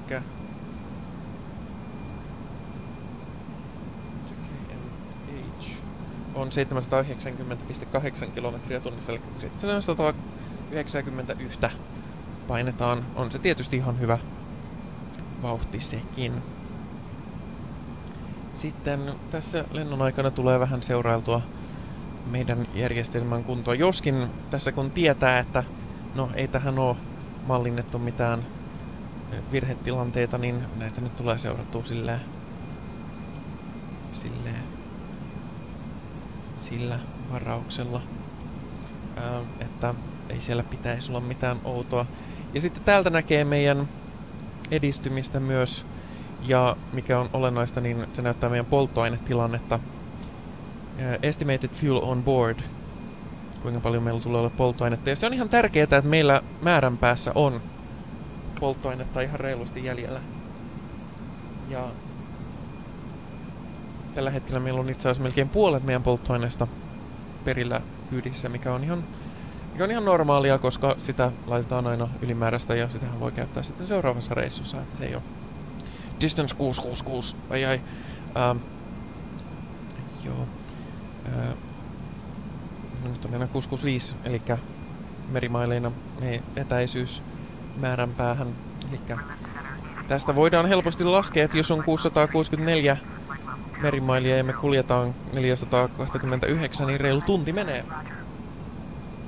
Joskin oikeasti siihen menee vähän pidempi aika, koska se lähestyminen on hidasta ja sen sellaista, mutta jos me vaan lennettäis porhalle tai suoraan, niin sitten menisi reilu tunti, että jotain, ehkä pari tuntia tässä menee. Ää, toi näyttää aktiivisen navigaatiopisteen ja etäisyyden sinne sekä myöskin arvioidun saapumisajan nekin saa tietysti näkyviin täältä, jos näkee no, nopeus, korkeus. Ää, Näitä ei muuten näytäkään noita. Ei kun, tuossa uuteeseen. Et koska ollaan siellä, niin sitten voidaan katsoa, että ollaanko, ollaanko aikataulussa vai ei. Ja itse asiassa kaiken parhaiten sen näkee sitten täältä. Hetken näkee, näyttääkö tämä UTC? Ei muuten näytä. Öö, oikeassa elämässä tähän olisi kirjattu jokaisen niin kun, suunniteltu aika, että milloin ollaan, niin sitten näkee, että onko aikataulussa vai ei, mutta semmoista meillä ei nyt ole tähän hätään. Ja pääasiassa mä vaan tarkkailen, että kaikki on ihan okei. Vähän mua harmittaa sen, että tuli nousussa sählättyä niin nolosti, mutta pääasia on, että kaikki lopulta meni ihan hyvin. Eikö se ollutkin? Sovitaan, että se oli, se oli se pääasia. Kaikki on silleen niin ihan kivasti. Ähm, mä, huo mä oon huomannut, kun mä oon katsonut lentovideoita, että varsinkin pitkillä reiteillä itse asiassa näitä lentosuunnitelmia säädetään yhteistyössä lennonjohdon kanssa aika paljonkin. Mutta sitä, sitä mahdollisuutta tässä ei ole muuta kuin, että, että tota, kyselee noita lentokorkeuksia. Tässä taitaa olla vielä silleen, että lennonjohto priorisoi tämän ihmisen lentämän koneen noiden ö, muiden koneiden ohi, että jos mä pyydän, että hei saanko mennä tälle korkeudelle, niin se antaa mulle se luvan ja sitten se vaan reittää muut koneet pois tieltä. Ää, mutta joo, ää, mitä tehdä, kun on kruisailu päällä? Tää on ironista kyllä, tää on yksi mun suosikkiosia tässä, vaikka paljon mitään ei ole tekemistä. Voi katsoa ulos, voi katsoa ulos tälleen. Kuinka tyylikkäästi kuljetaan. Joskus se on huimaa, kun on kova sivuttaistuuli, niin näkee oikein, että tämä kone on ihan vinossa verrattuna tuohon perässä tulevaan ö, vanaan. Ja sit sitä sit sitä vaan kuljetaan. Tuolla menee joku kone, niitä voi bongailla. Se on ihan hauskaa. Joskus tulee... Ö, joskus on hauska vuoristoissa, koska vuoristot näyttää hauskoilta ja ö, sitten voi selata nettiä. Se on siinä hyvä, että mulla on tää tabletti tässä. Yleensä mä selailen vielä jotain lentoaiheisia sivuja, niin kuin esimerkiksi airliners.net, sieltä tulee heti, että Downfall of the Trump Shuttle on tällä hetkellä aktiivisen keskustelu. Uh, tarkoittaako se uh,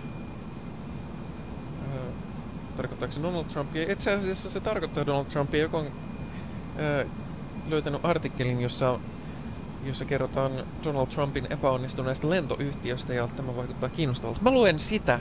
Mä en lue sitä ääneen, ähm, vaan tota... Hmm? Linkki on rikki. No, mä luen sitä. Äh, mä palaan asiaan sitten, kun tapahtuu jotain huomion arvoista. Väliin ihan lyhyt tällainen juttu, että mä tykkään yölennoista. Niissä on jotenkin oma tunnelmansa. Sitä näkee ö, ympäröivät lentokoneet hauskasti. Tuossa itse asiassa on justiinsa näkyy, että tuolla jossain olisi kone, mutta sen valoja ei näy. Siinä olevan vähän pilveä. Mutta sen huono puoli on sitten se, että näkymät on tällaiset. Ne ei ole kauhean, kauhean stimuloivat suorastaan.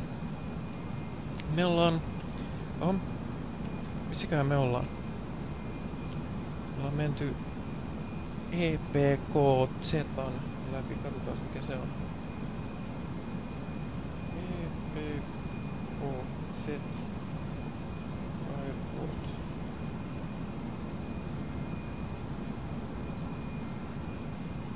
On Kostalin Tsegrski Komorski Airport. Mä veikkaan, että se on, se on Puolassa. Kyllä. Se on Puolassa. Itse asiassa nyt me ollaan... Se on ihan tuossa pohjoispuolessa, joten me ollaan itse asiassa veden yläpuolella. Ää, joten... No. Eipä tuolla kauheasti sitä katsottavaa. Täytyy sanoa, että meren yläpuolella lentäminen on ehkä kaikkein tylsintä, vaikka sille niin kuin lentämisen kannalta sille ei ole mitään väliä. Mutta jotenkin vaan onhan se mukavaa, kun välillä jotain näkeekin muutakin kuin vaan vettä. Mut hei, me ei olla tehty vielä meidän Atlantin ylitystä. Kyllä mä semmosenkin videon teen. Luultavasti kylläkin Concordella. Mutta tota, joo. Sen jälkeen kun mä viimeksi painoin ö, ton, tai tein ö, pienen väliaikapäivityksen, niin se oli puolito tuntia sitten mä en oo. Mä oon sillä välillä pari kertaa virittänyt radion ja mä oon lukenut sitä Donald Trump ö, juttua. En ole vielä saanut ihan loppuun asti, mutta kaikki tuntuu sujuvan mitä ongelmittammin. Meillä on vastausta tuulta, että meillä polttoainetta menee suunniteltua enemmän, mutta sen takia niitä reservejä on niin paljon. Nyt ei itse asiassa niinkään vastasta kuin poikkitulta, joten se ei itse asiassa hidasta meitä ihan kauheasti, mikä on aina tietysti mukavaa. Ähm, mutta joo, eipä tässä. Tämä on tällaista. Ähm, 52 astetta pakkasta. Mitäs se mukava suomalainen talvipäivä? No ei sentään. Ähm, onneksi. Ja hetkinen, katsotaan. Äh, me ollaan optimaali lentokorkeudella. Maksimi olisi 39 äh, 000. Ei kun, joo 39 000 jalkaa, mutta ei mitään syytä kiipeillä niin pitkälle, mutta kone on kevyt. Homma sujuu hyvin. Joku on muuten ihan meidän edessä samalla korkeudella, mutta ei kyllä näy valoja. Menossa aika. Me ollaan kyllä kylläkin sitä nopeampia. Se osaa sitä kiinni. Mennäisi johonkin samaan suuntaan. Olisiko peräti ton toinen Finski? Katsotaan näkyisikö se ulkokuvessa.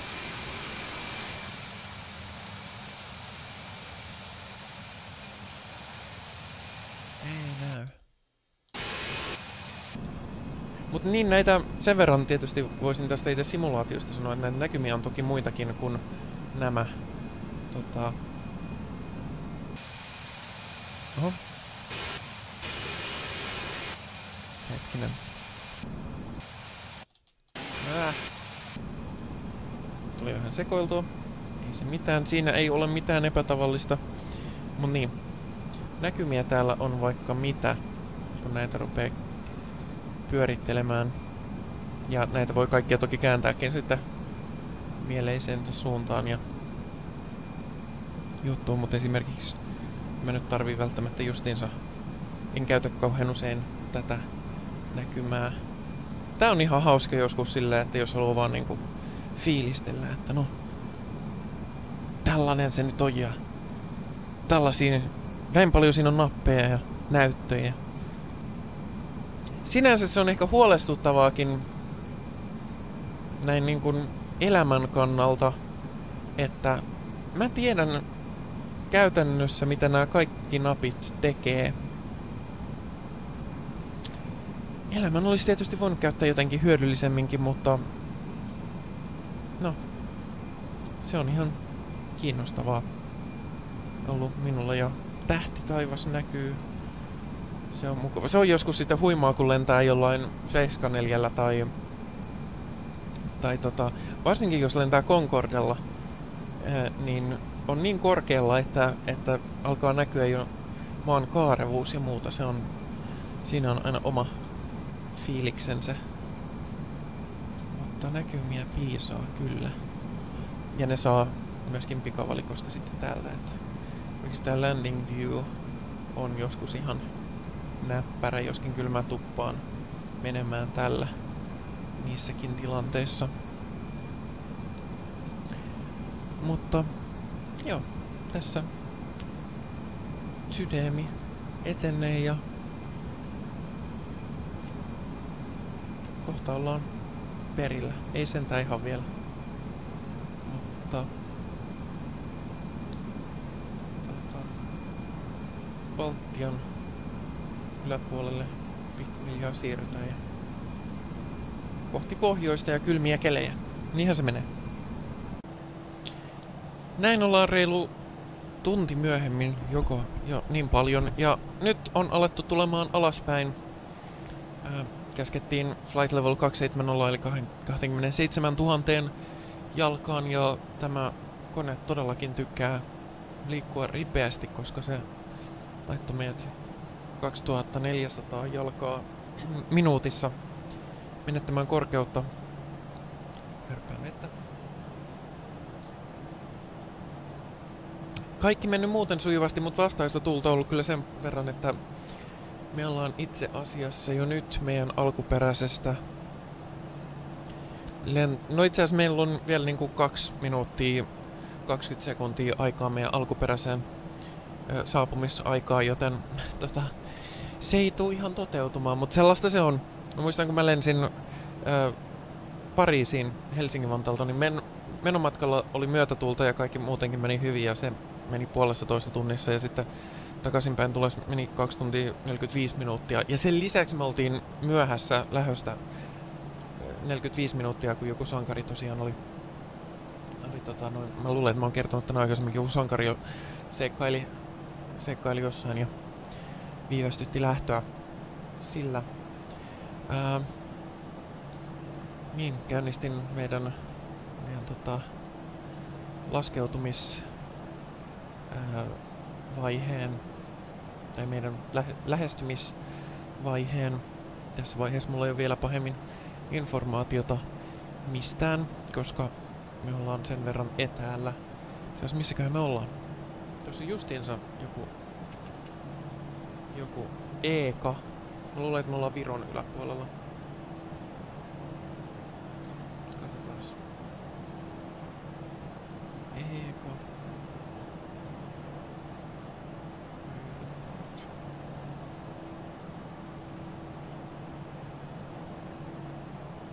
On Kärtla. Kärtla on... No, se on Virossa. Kärtlassa. On saarella. Me ollaan muuten tosi lähellä. Me tullaan justiinsa tota, Suomenlahden yläpuolelle, joten ei tässä enää kauaa mene, paitsi jos menee. Sellaista se on. Mutta se on ihan hauskaa, että se tuo meidät 35, eli 3600 jalkaa minuutissa. Tää tosiaan on silleen, että nyt tullaan alas. Eikä meinata, mutta mikäpä siinä. Se on itse asiassa vaihteeksi ihan mukavaa, kun tota, ää, usein, usein täytyy vähän kiirehtiä näitä laskeutumisia sen takia, että tämä lennonjohto, mikä on yksi niitä asioista, joista mä tykkään tosi paljon, ää, nimenomaan Flight Simulator 10 verrattuna esimerkiksi X-Planeen, että tässä on kunnon lennonjohto, ihan niin kuin äänitetty ihmisäänin.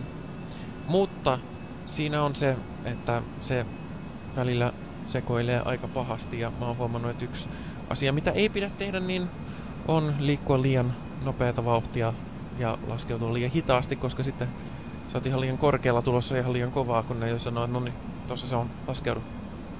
Nyt meillä on 93 merimailia vielä EFHKlle, mikä on meidän itse asiassa seuraava ja viimeinen viimeinen ö,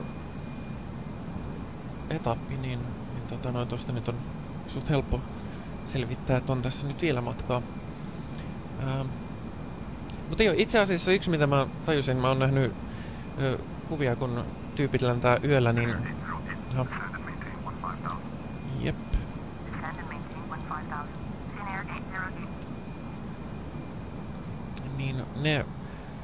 Tota, ja toi, toi muuten näyttää, että tossa ollaan arvioidusti meidän uudella ää, lentokorkeudella, ää, mikä on säädetty. Mut niin, niin tyyppi lentää ö, öisin.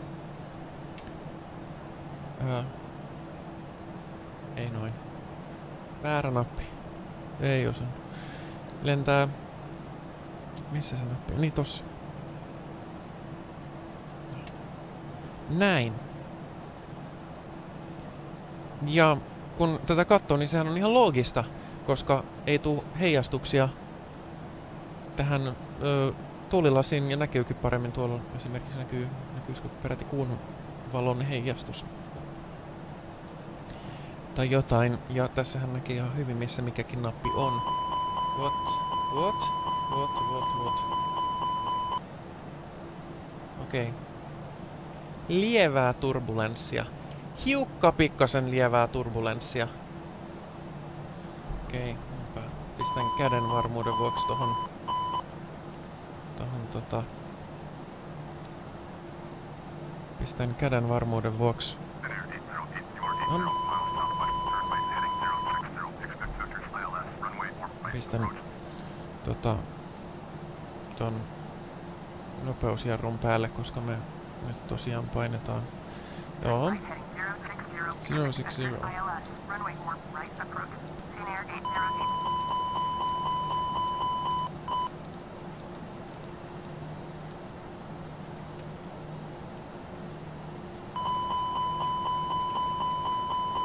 Okei. Okay. Um.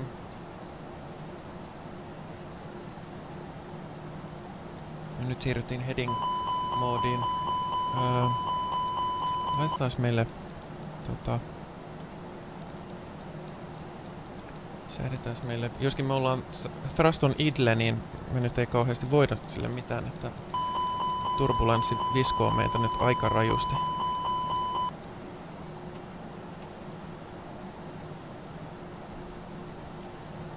Äh, se on joskus tämmöistä tuon poikkeuksellisen rajua, että se niinku viskoo niin ankarasti, että, että tota, rupeaa jo hälytysvalot vilkkumaan. Toi muuten. Aa, niin täällä voi testata kaikki. Se on just näitä Mikä valotte? Mikä nappi tää on? Mut niin, mä nyt, koska ei ole samanlaista ongelmaa ton ää, heijastusten kanssa, niin mä pidän valot ihan kunnolla päällä, koska se on helpottavaa muuten. Mutta siis, meillä oli Four Right, oli meidän iOS, eli instrumenttilähestyminen. Hetkinen, mitä se sanoo? For right. Tiedän mikä on for right. Mun, mun näissä taulukoissa on vain for.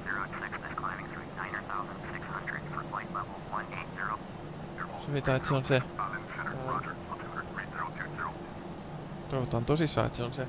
Tää on hyvin harvinaista, että mun ää, taulukot ja se mitä lennonjohto sanoo, niin ei oikein korreloi, mutta katsotaan mitä, mitä nyt taas. Mä tiedän nyt. Asiat sinänsä näyttää olevan ihan hyvässä kuosissa taas.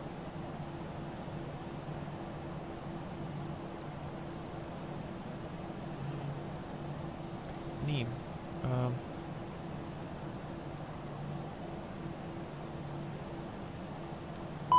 arrival on for right, joka on 1-1.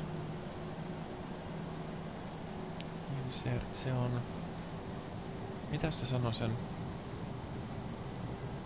Taajuudeksi 1-1... 150. Send maintain. 9000, yes. More drag sanoo se. Jarrutellaan vielä. Mitäs toi sanokaan? Sen mä oon kans huomannut, että kannattaa jarrutella hyvissä ajoin, koska tää... Tää... Toi... Äh. Palataan takaisin kyllä sen. Eikö se sanonut jo? Eikö mä ottanut jo, että... Joo, for right. Joo, niin tota, mitäs toi sanokaan? Meidän...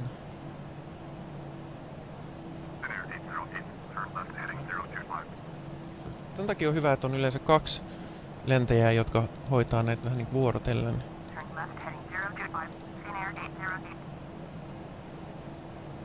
Ja tää on kans... Täällä on tapahtunut paljon onnettomuuksia ihan oikeassa elämässä, että kun ei näy ulos mitään, niin on silleen, että no... Ai kato, joo, perhana. Mä unohdin mun nopeusjarrun päälle. Tää menee hyvin. Mulla sujuu tää operointi hyvin, mutta ei lentäminen on täällä vähän Ää, miksi mä oon tookassa? Ää, miksi mun...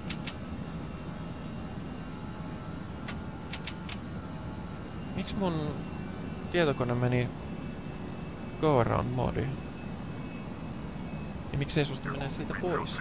Climb and maintain flight level 240. Climb and maintain flight level 240. Air Baltic 306. Aa, aa, meillä on autotrotle pois päältä.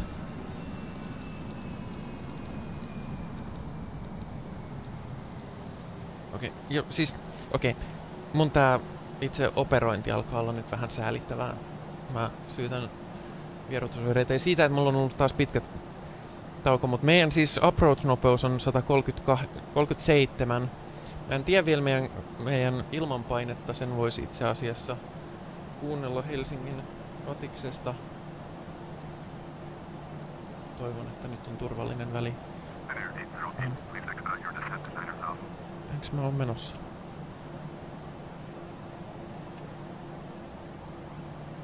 Mä oon menossa 9 tonnia? Pitäisi olla menossa 9 tonnia. Joo, kyllä se.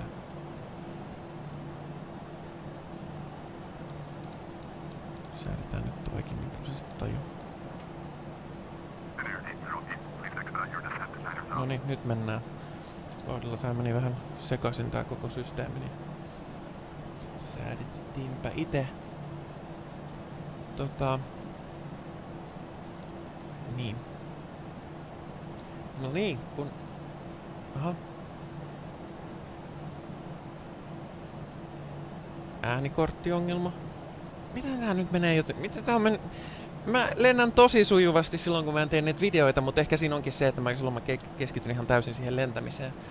Mä osaksi keskityn myöskin. Joskin tietysti... Contact London approach on 127.9 flight. Air Baltic 306, climb and maintain flight level 300. Tietysti siinä on se, että tuohon äänikorttiongelmaan se nyt ei vaikuta. Going to 127.9 Finnair 808. Ah, no, pahoittelut siitä, että äänet on sitten loppuajan vähän tällaisia, mutta sillä ei nyt lennossa oikein voi mitään. Altimeter 3020. Ää, niin, piti kuunnella Atis. Se olisi ollut tuossa äskeisessä näytössä. Niin, mutta ylipäätään se lentämiseen tietysti se vaikuttaa, että silloin mä keskityn ihan täysin lentämiseen, nyt mä keskityn selittämiseen, mutta tämä silti nyt vähän. 08, turn right heading 060, descend and maintain 9000. Turn left, right heading. 60.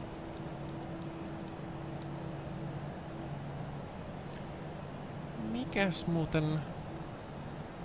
Altimeter on 3020. Transmission. Ah, Turn right heading 060, descend and maintain 9000. Finnair 808. 3020. Finnair 808. Turn left Se on tosi paljon. 030. Mitä nyt taas? Was ist das? Kol- kolme nolla. Se saattoi olla ihan vaan korkeus huomio. Turn left heading 030. Finnair 808. Kaikki äänet kuulostaa tosi oudoilta, kun ne on nyt... Niin muuten, ei muuten varmaan tää munkaan ääni kuulosta nyt kauhean fiksulta. Mä teen tän kuitenkin loppuun asti siltä toivossa, että toimii edes jotenkin.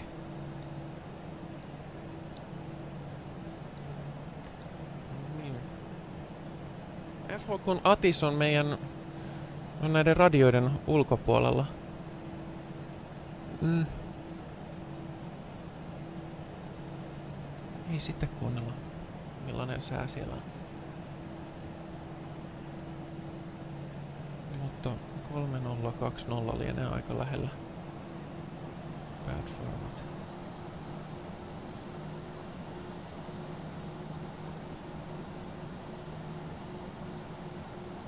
Temperature, mikäköhän sillä nyt olisi? Paljon Helsingissä on lämpötila just nyt? En mä tiedä. Ähm, Mut jarrutellaan. Öö, miksi mä laskeudun? Vitjat.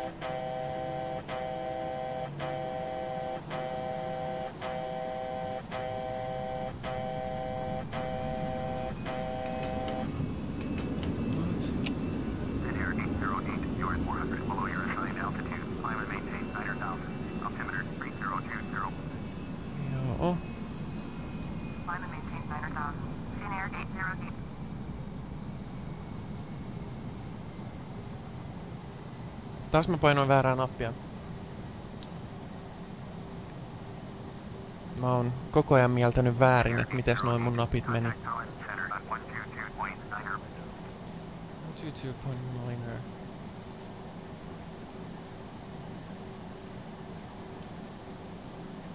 22.9. Ai niin, on pitää nyt sanoa, että huhhuh. Going to 122.9er. Thin air gate zero gate. Collins Okei, onks 29 mä nyt, pysynkö mä tasaisesti tässä korkeudessa? Kyllä. 3019er, joo. Nyt niinku tukevasti tällä lentokorkeudella. Ja nyt jarrutetaan vähän lisää. Tuolla meidän lopullinen tota,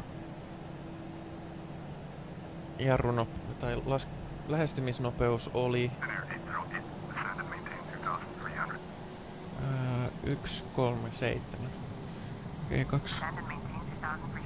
Thin air gate zero gate. 2300.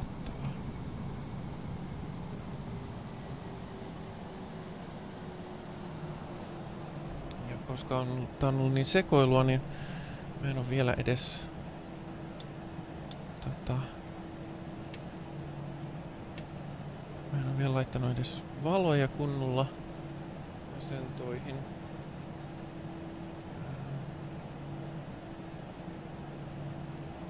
Kyllä itse asiassa kaikki. Niin, nyt täytyy katsoa, että meidän IL, ILS-taajuus on oikeasti oikein. Mutta kyllä se näytti olevan ILS on 11150, mikä on ainoa, mikä on mun, äh, mun tota, taulukoissa, joten toivotaan, että se nyt on, koska mä en edes tiedä, mikä on... Tässä on, niin, niin tässä on käynyt, eikö hetkinen, se sanoo for right, se sanoo toi simulaattorin tyyppi. Sitä auto, siis sen jälkeen kun tämä simulaattori on julkaistu, niin Helsinki-Vantaalle on tullut yksi, ö, yksi rata lisää, mutta silti vähän oudoksun, että mikä juttu tää on. Laitoin laippoja olemassa. Contact Helsinki approach on 119.1.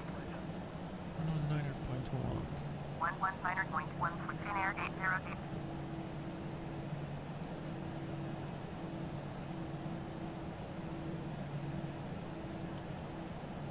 Helsinki approach. Thin air gate zero gate is at 6,200, descending 2,300. Thin air gate zero gate, Helsinki approach. Roger. Kyllä laitan meille lisää vauhtia, koska tässä hel- turhan helposti käy niin, että, että tota, Helsinki departure cleared 645. Ne on taas tekee temput tossa, että ne vektoroi mut ihan liian lähelle. Mutta toisaalta nyt kyllä mä näen tosta, että ei me olla vielä ihan törkeä lähellä, mikä on ihan hyvä. Ihme sekoiluksi meni taas tääkin vaihe lentämistä. Ja nyt mulle tulee taas ihan liikaa nopeutta. Mä laitan ää, ilmajarrut päälle, mutta tällä kertaa mä niin kun, Tällä kertaa mä pidän kättä tässä napilla niin, että mä muistan, että se on päällä ja mä muistan laittaa sen pois päältä. Thin air gate zero gate, turn left heading 340. Turn left heading 340. Thin air gate zero gate. Okei, nyt mä otin sen pois siitä. Ja hei, äänet toimii taas. Mä otin, nyt mä otin käden pois siitä, mutta mä laitan sen heti takaisin, kun mä sain ton yhden säädön tehtyä. Ja ehkä jos meidän nopeus uhkaavasti nousee vieläkin, niin sitten mä tietenkin loivennan meidän laskeutumiskulmaa. Three, one, oho, väärä suunta vittu. Tätä tapahtuu koko ajan muutenkin, mutta tää, tää nyt ei oo. Tää ei edes- Joo, speed brake still out. Ja sen on tarkoituskin. Left heading 205. Ja, mutta meillä nousee vieläkin nopeus. 645. Turn left heading 310. 2,500. Joo. Me ollaan menossa 2300, mutta me ollaan kyllä tulossa reitillä justiinsa mukavasti, että jos ei ole kauheasti ruuhkaa, niin tämän pitäisi mennä ihan kovasti nyt speed break pois päältä, koska ruvetaan oikasemaan. Mut sitten ruvetaan samaan aikaan laskemaan. Eikö se ollut 137? Mä asetan tän siihen ja tarkistan. Tuossa on meidän full flaps kohta, että ehkä mä odotan siihen asti ennen kuin mä tarkistan. Kato, kyllä mä vähän, vähän alan. Selkeästi noin noi vierotusoireet alkaa menemään pois.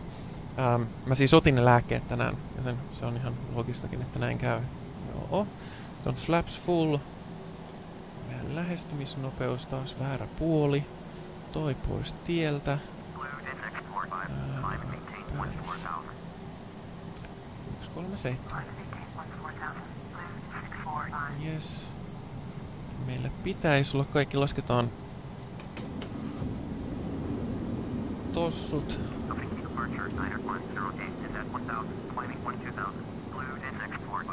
Ja mulla on aika jo on 12 vieläs point 04 right. 910 On Helsinki departure. Eli toi loppujen lopuksi, simulaattori sanoo ja, 910 ja navigointitietokone sanoo 04 right, niin jos ne on samaa mieltä, niin periaatteessa mun pitäisi päästä, päästä oikeaan paikkaan, mutta tietysti tämä ei ole kauhean suotava tilanne, että mun ää, kartat, jotka on siis simulaattorista, on eri mieltä. Helsingin-Vantaan ö, näistä ö, kiitoradoista, kun, kun mitä itse simulaattori ja mun navigointitietokone. Mut katsotaan.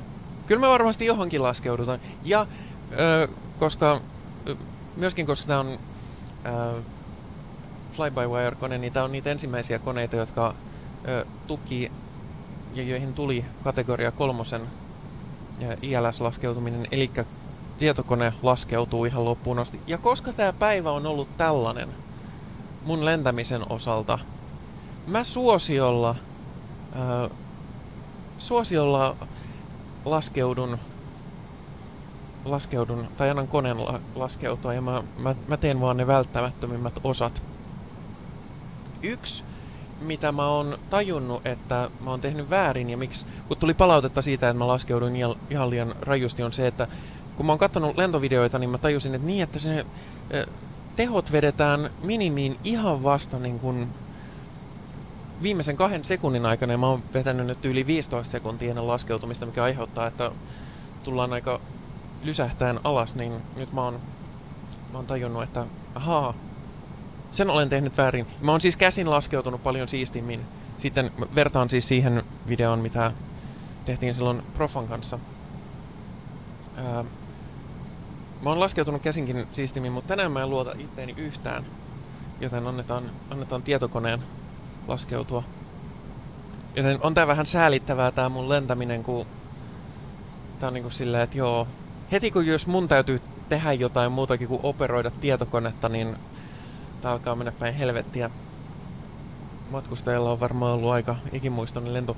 Mutta jälleen kerran mä otan kuitenkin vähän kunniaa siitä, että yksi asia, mikä justiinsa lentämisessä on olennaista, että jos asiat rupeaa menee jotenkin, että itse on ehkä ihan messissä, niin että osaa palauttaa sen tilanteen takaisin, niin se on myöskin kohtuu olennaista.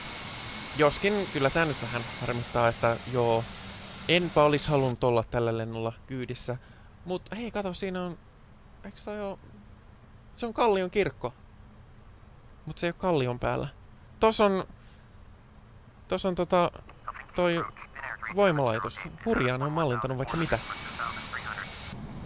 Mutta niin, kyllä mä tietysti haluaisin lentää oikeasti hyvin. Ähm, tänään oli lieventäviä seikkoja. Ja tietysti mä teen silloin videota, kun mä lennän päin helvettiä. Ehkä mun pitäisi keskittyä kriittisinä hetkinä vähemmän siihen selittämiseen. Niin mä teen seuraavalla tavalla. Seuraavaksi ö, lennetään ö, paljon enemmän HC-mallinnuksesta 757, jonka mä sain itse asiassa arvostelukappaleena, joten siitä, siitäkin tehdään videota. Ää, mutta musta, mä halusin silti tehdä ensin tämän, tämä on siis ostanut ihan itse. Mä ensin halusin tehdä kuitenkin tämän Airbus-videon, koska näitä näkee harvemmin. Ja mua itseäni kiinnosti kovasti tämä näiden asioiden ö, erilaisuus siinä mielessä, että millaista on lentää Bonkaria versus millaista on lentää Airbusia jopa simulaattorissa. Mutta joo, pikkuhiljaa tässä lähestyillään. RFK on tuolla parikymmenen merimailin päässä. Kohta se varmaan käskee mun kääntyä ja ottaa kiinni tosta ILSstä ja itse asiassa pistetään ILS-moodi päälle. Meillä on HG kiinni, eli kaikki näyttää nyt siinä kohtaa siltä saa tosi hyvältä, että tämä näyttää, että me ollaan ää, lentoreitin oikealla puolella, joo, koska IFOK on tuolla, niin joo, todellakin ollaan. Meidän kurssi on toi, onko se oikein? Ei. Mutta tämä mun kartta nyt ei ilmeisesti selkeästikään pidä kauheasti paikkansa muutenkaan. Ähm, periaatteessa kaikki kai säädetty. Tai katsotaan vielä. Dead Air 808, you Uh-huh. are 22 miles southwest, turn right, heading 025, descend and maintain 2,300, cleared ILS, runway 4 right, approach, maintain 2,300 until established on the localizer. Contact Helsinki Tower on 118.85. Okei, nyt tietokone saa taas ihan itse viritellä noita radioita, koska tässä vaiheessa mä en enää rupea. Sitten laitetaan toinenkin autopilot päälle. Joo, jos se ensimmäinenkin pitäisi paikkansa.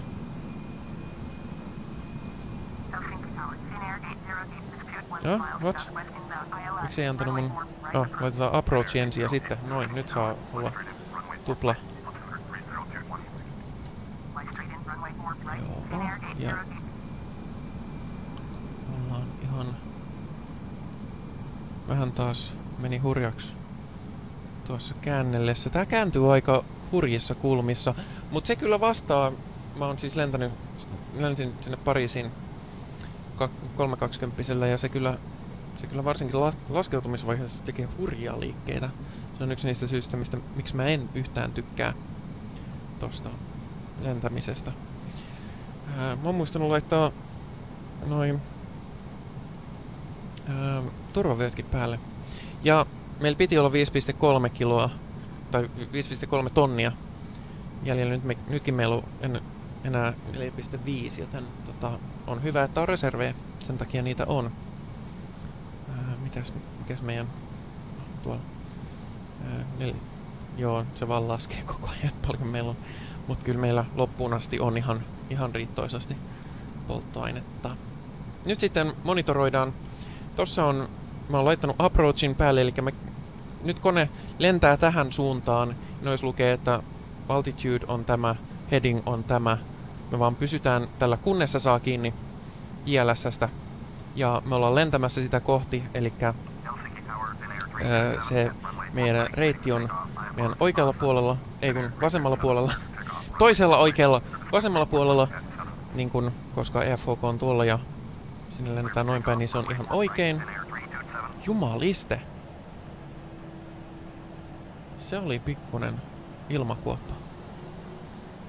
Wow. Öö, tai puusta, mä en ole ihan varma kumpi. Öö, mut joo, öö, me ollaan menossa sitä kohti, eli oikein, ja me ollaan glide slopein, eli sen lähestymis, vertikaalisen lähestymispolun alapuolella, mikä on, mikä on just se niin kuin pitää olla, eli me lähestytään sitä sen alapuolelta ja sitten me otetaan kiinni siitä ja ruvetaan laskeutumaan sen mukaisesti. Aika hurja keli. Tuuli puuskuu ja turbulenssia on ja muuta, joten onneksi on turvavyövalo päällä.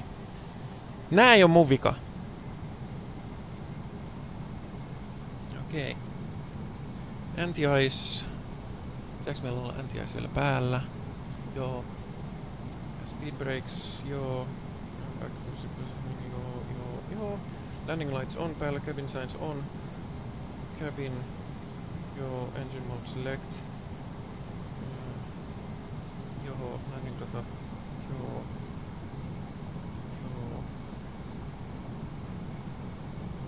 Joo.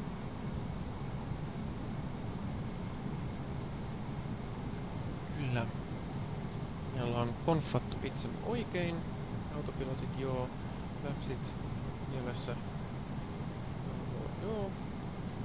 Finnair 327, contact Ocean departure on 119.1. 119.1 Joo. for Finnair 327. Me ollaan konfattu kaikki oikein. Näköjään nyt me ollaan samassa kiinni. Tää on aina tätä kohtaa kannattaa seurata. Aa, me ollaan käännyttykin jo sitä lähe, lähestymispolkua kohti, joten se on hyvin... Tämä on tietysti aina vähän huolettavaa, että tuolla on kaksi muutakin konetta. Meidän edellä se on huolettavaa sen takia, koska tämä meidän... Ää, tämä meidän... Ää, meidän ää, lennonjohto ei ole, ei ole kauhean hyvä ruuhkatilanteessa. Niin se saat, saattaa käydä taas niin kuin kävi siinä meidän profalennossa, että se pistää kaksi tulemaan ihan liian lähellä ja sit toisen täytyy mennä ympäri. Mutta sovitaan, että tämä menee ihan hyvin. Autobreakit laitoin mediumille. Ja okei, nyt me ollaan, ollaan käännytty juurikin oikein. Tuolla näyttää olevan joku rata. Se ei ole meidän rata, toi on ehkä meidän rata. Toi voisi hyvinkin olla meidän rata. Tai sitten se on joku muu valo. Tämän oikeassa elämässä sen ehkä näkisi tässä vaiheessa. Ei joo, toi on meidän rata, eli et joo, left ja right, kyllä, ollaan menossa ihan oikein. Niin ja toi on menossa leftille, joten ei mitään huolta, ja toi on menossa ihan muualla, joten kyllä. Meillä on homma. Sitten meillä on kategori kolmonen, dual on päällä, eli kaikki kunnossa, ja sitten glide slope alkaa tippumaan, ja sitten seurataan. Mun olisi pitänyt seurata, että me oikeasti käännytään ton mukaan. Me käännyttiin. Uh, ja, mutta tämän takia on yleensä kaksi pilottia. Yksin on hankala seurata ilman vierotusoireitakin ihan kaikkea. Ja sitten seurataan, että glide, glide slope ottaa kiinni. Ja me ruvetaan laskeutumaan sen mukaisesti, mikä olen myöskin aika varma, että se toimii, mutta se on aina hyvä katsoa, koska aina se ei toimi. Sen takia, että nappi A on väärässä. Esimerkiksi mun käsittääkseni, jos mulla olisi toi päällä, mutta ei tota päällä, niin sitten se niinku lähtisi oikeaan suuntaan, mutta se ei vaan lähtisi laskeutumaan ton glide slopein mukaisesti, koska se vaan seuraa ää, horisontaalista informaatiota tai ollenkaan vertikaalista. Mä en ole ihan varma toimiiko se niin, mutta se saattaa hyvinkin toimia niin. Ainakin bonkkarilogiikka toimii niin, joten okei okay, nyt glide slope ja kyllä kone ottaa siitä kiinni. Ja nyt tässä kohtaa sitten silmä tarkkana, että nyt mielellään ei mitään yllätys, yllätyksellisiä ää, tuulenpuuskia tai, tai ilmakuoppia tai muita sellaisia, mutta se tietysti ei ole koskaan omassa kontrollissa, mutta siksi vaikka annankin koneen laskeutua ihan itse, niin näihin asioihin kannattaa kiinnittää Speed. huomiota. Speed. No niin. Speed. Speed. Ja heti tuli puuska. Speed. Speed. Itse oot ottanut vauhtia. Mä oon ottanut vaan mun mieliala lähkeet. Tai siis en oo. Clear to land. Runway 4 right. Clear to land. Nyt on kaikki valot päällä. land. Runway 4 right. Finnair 808. Mehän ollaan Light Slopein alapuolella, mutta epäilemättä kone kompensoi asiaa. Kyllä. No, mutta joo, nyt mä oikeastaan vaan... Okei. Okay. Minimumsit lähellä. Sen jälkeen, kun minimums on oltu, niin sitten ei enää auta. Sitten on pakko laskeutua. Ähm, mutta lähestyminen on stabiilia. Minä en ehkä ole, mutta tärkeintä on, ja oikeasti tehot pois vasta kun se sanoo, että retard, retard. Ähm, Boeingit käyttää termiä flare, mutta Airbus tykkää loukata. 1000. Ja se on, se on tullut, se on tommonen bri, brittiläinen kohtelias ääni. TA only tarkoittaa, että se näyttää liikenteen, mutta se ei enää ota ohjaa ja ohjaa meitä pois tieltä, koska me ollaan lähellä laskeutumispistettä, niin nyt ei ole hyvä aika kääntyä mihin, mihinkään suuntaan. Mutta itse asiassa viimeksi, kun mä laskeuduin tonne, ähm, tonne, tonne menomatkalla tuonne Müncheniin, niin siellä oli niin hervoton sumu, että silloinkin mun täytyy antaa tietokoneen laskeutua ihan loppuun asti. Tai autopilotin laskeutua ihan loppuun asti. Nyt mä teen sen ihan sen takia, että mä en enää kaikkien 500. sekoilujen jälkeen mä en, mä en enää luota itteeni.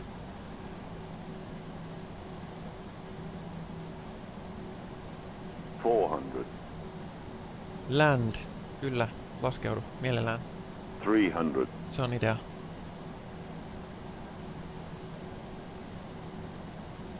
Minimums. Two hundred.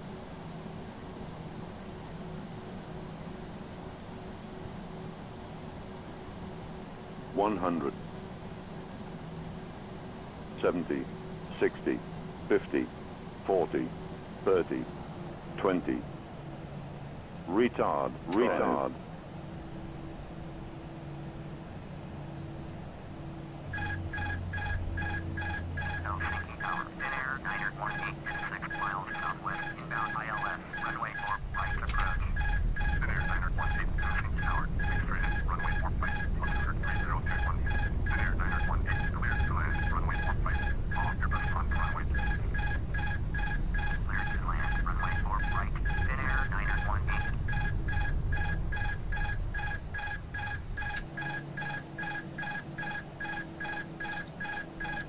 Tää hälytys on vaan se, että hei, autopilotti on pois päältä. Se oli, se oli ihan asiallinen oletettu hälytys. Mä en tehnyt mitään tyhmää. Se oli itse asiassa... Sehän oli ihan mallikas laskeutuminen. Tota, ää, mut joo, siitä ei voi kauheasti ottaa kunniaa, kun se oli tietokone, joka laskeutui. 808, contact ground on 121.8. Yes, 121.8. Going to 121.8. Ensin parkkeerataan tähän hetkeksi. Ja konfataan kone. Mutta, joo. Siihen nähden, että tota, mä oon mukannut kaiken tähän asti, niin se meni oikein mukavasti. Jopa, niin kun, kyllä vaikka se oli tietokoneohjeis ohjattu se laskeutuminen, niin kyllä mä olisin löytänyt tavan mokata senkin, jos olisin oikein lahjakkaaksi päättänyt. Hei. Ground spoilers, flaps, full retract, engine mode, normal, landing lights. Landing lights, retract. Uh, Anti-ice as required, onks pakkasta? Ei sentä. Ei oo pakkasta. Anti-ice pois. APU start.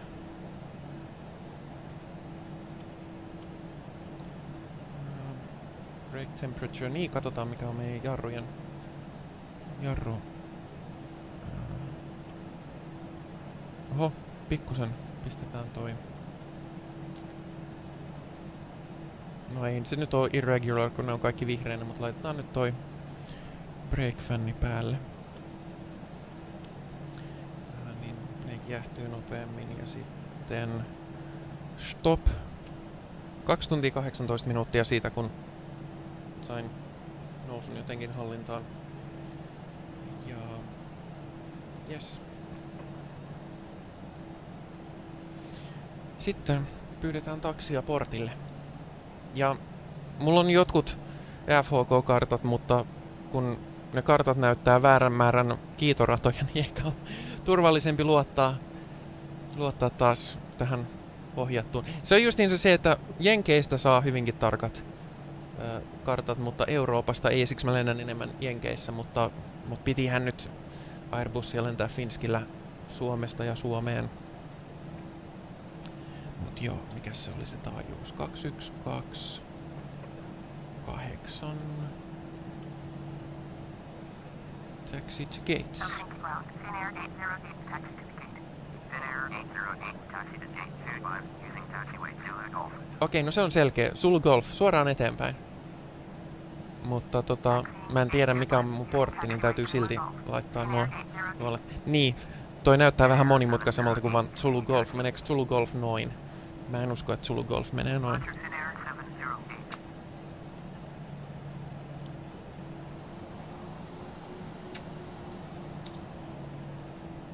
Mutta joo, siitäkin huolimatta, että tosi paljon sot, sotkua ja sähläystä ja ei välttämättä matkustajille se kaikkein mukavin lento joissakin kohtaa, niin pääasia on, että kone on yhtenä kappaleena perillä.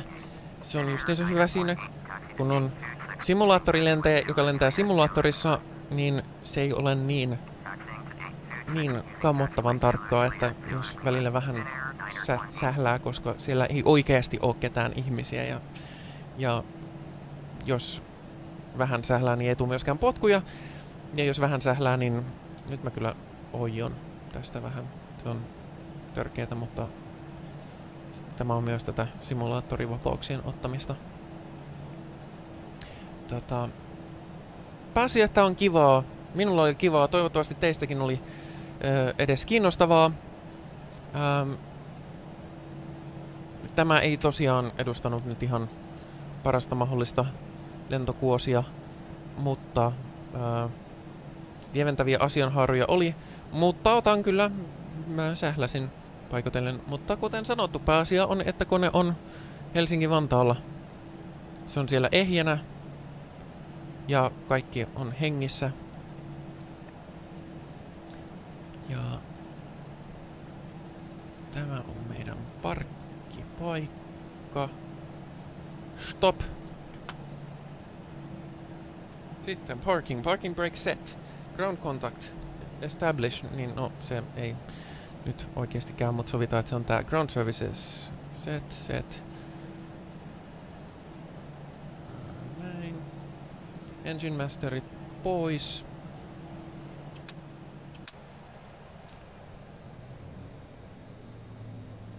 Sitten meillä on apu, apu ja meillä on external power, joten mä laitan sen.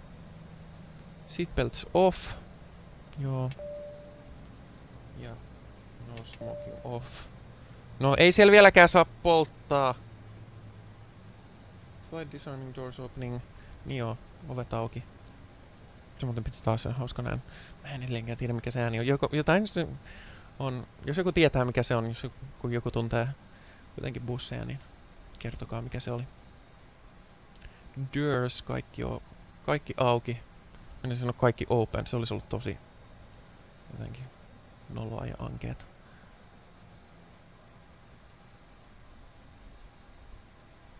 Noin, kaikki auki. Onko meillä muuten... Ää, aa, tää menee saman tien nollaan.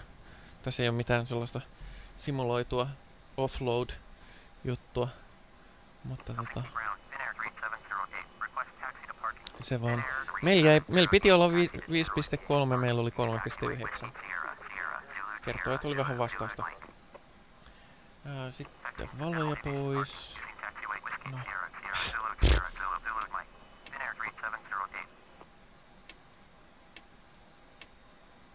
Off. Off. Retract. Yeah. Joo.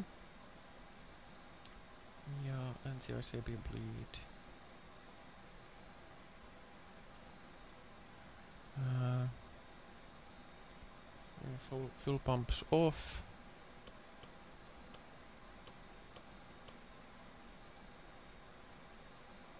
Ja sitten uh, bleed it off. APO off. Uh, off ja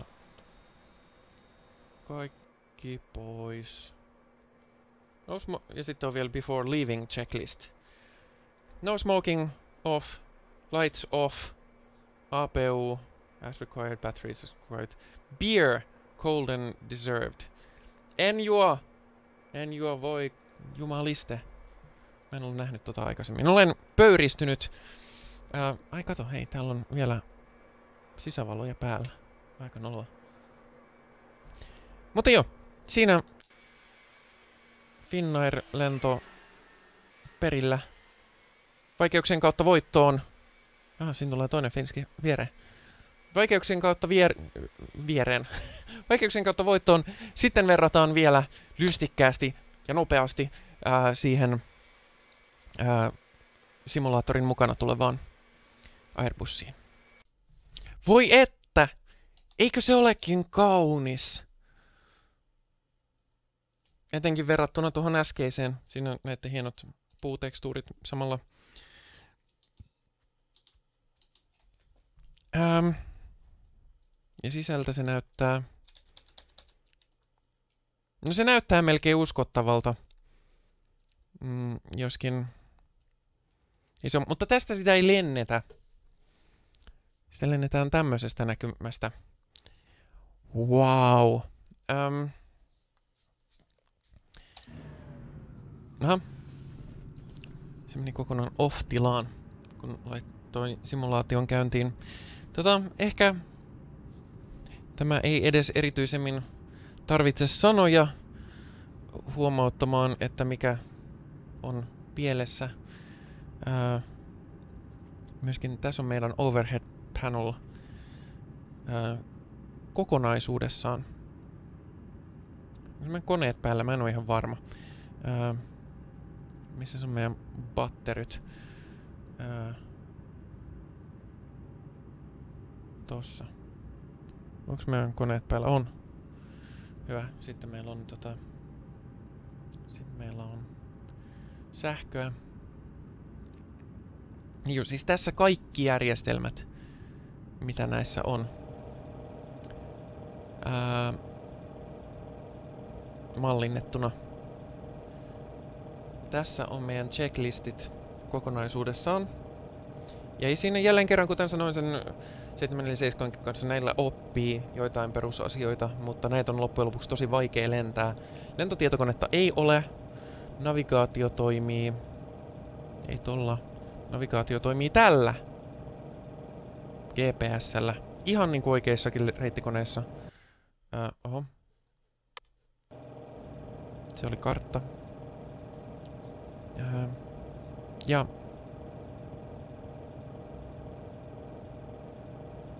Jossa on kello. Missä se on meidän... Missä se on meidän noin... Ah, tuolla tuolla quadrant. Joo, ei tää ihan yhtä uskottava oo. Ja niin kuin hyvin hankala edes sanoa, että miten tätä konetta lennetään. Se on näissä just niin, jo sanoin sen siinä 7, eli 7 koneessakin, että niinku, mä osaa sanoa, miten näitä koneita lennetään, koska näin ei anna mitään informaatiota siitä, miten näitä, näitä pitäisi lentää, joten voidaan niin kuin tyyli vaan lähteä ja toivoa parasta. Mä en yhtään muista, miten tää, tämän ö, autopilottimoodi toimii, koska näiden logiikka ei seuraa mitään oikean elämän logiikkaa.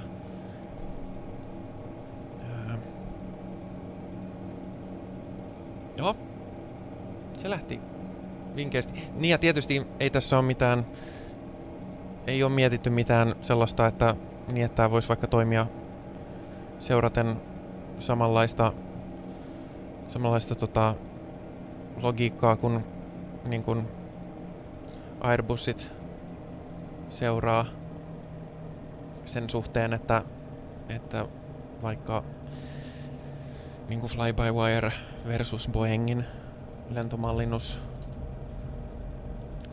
toisaalta toisaalta okei. Okay.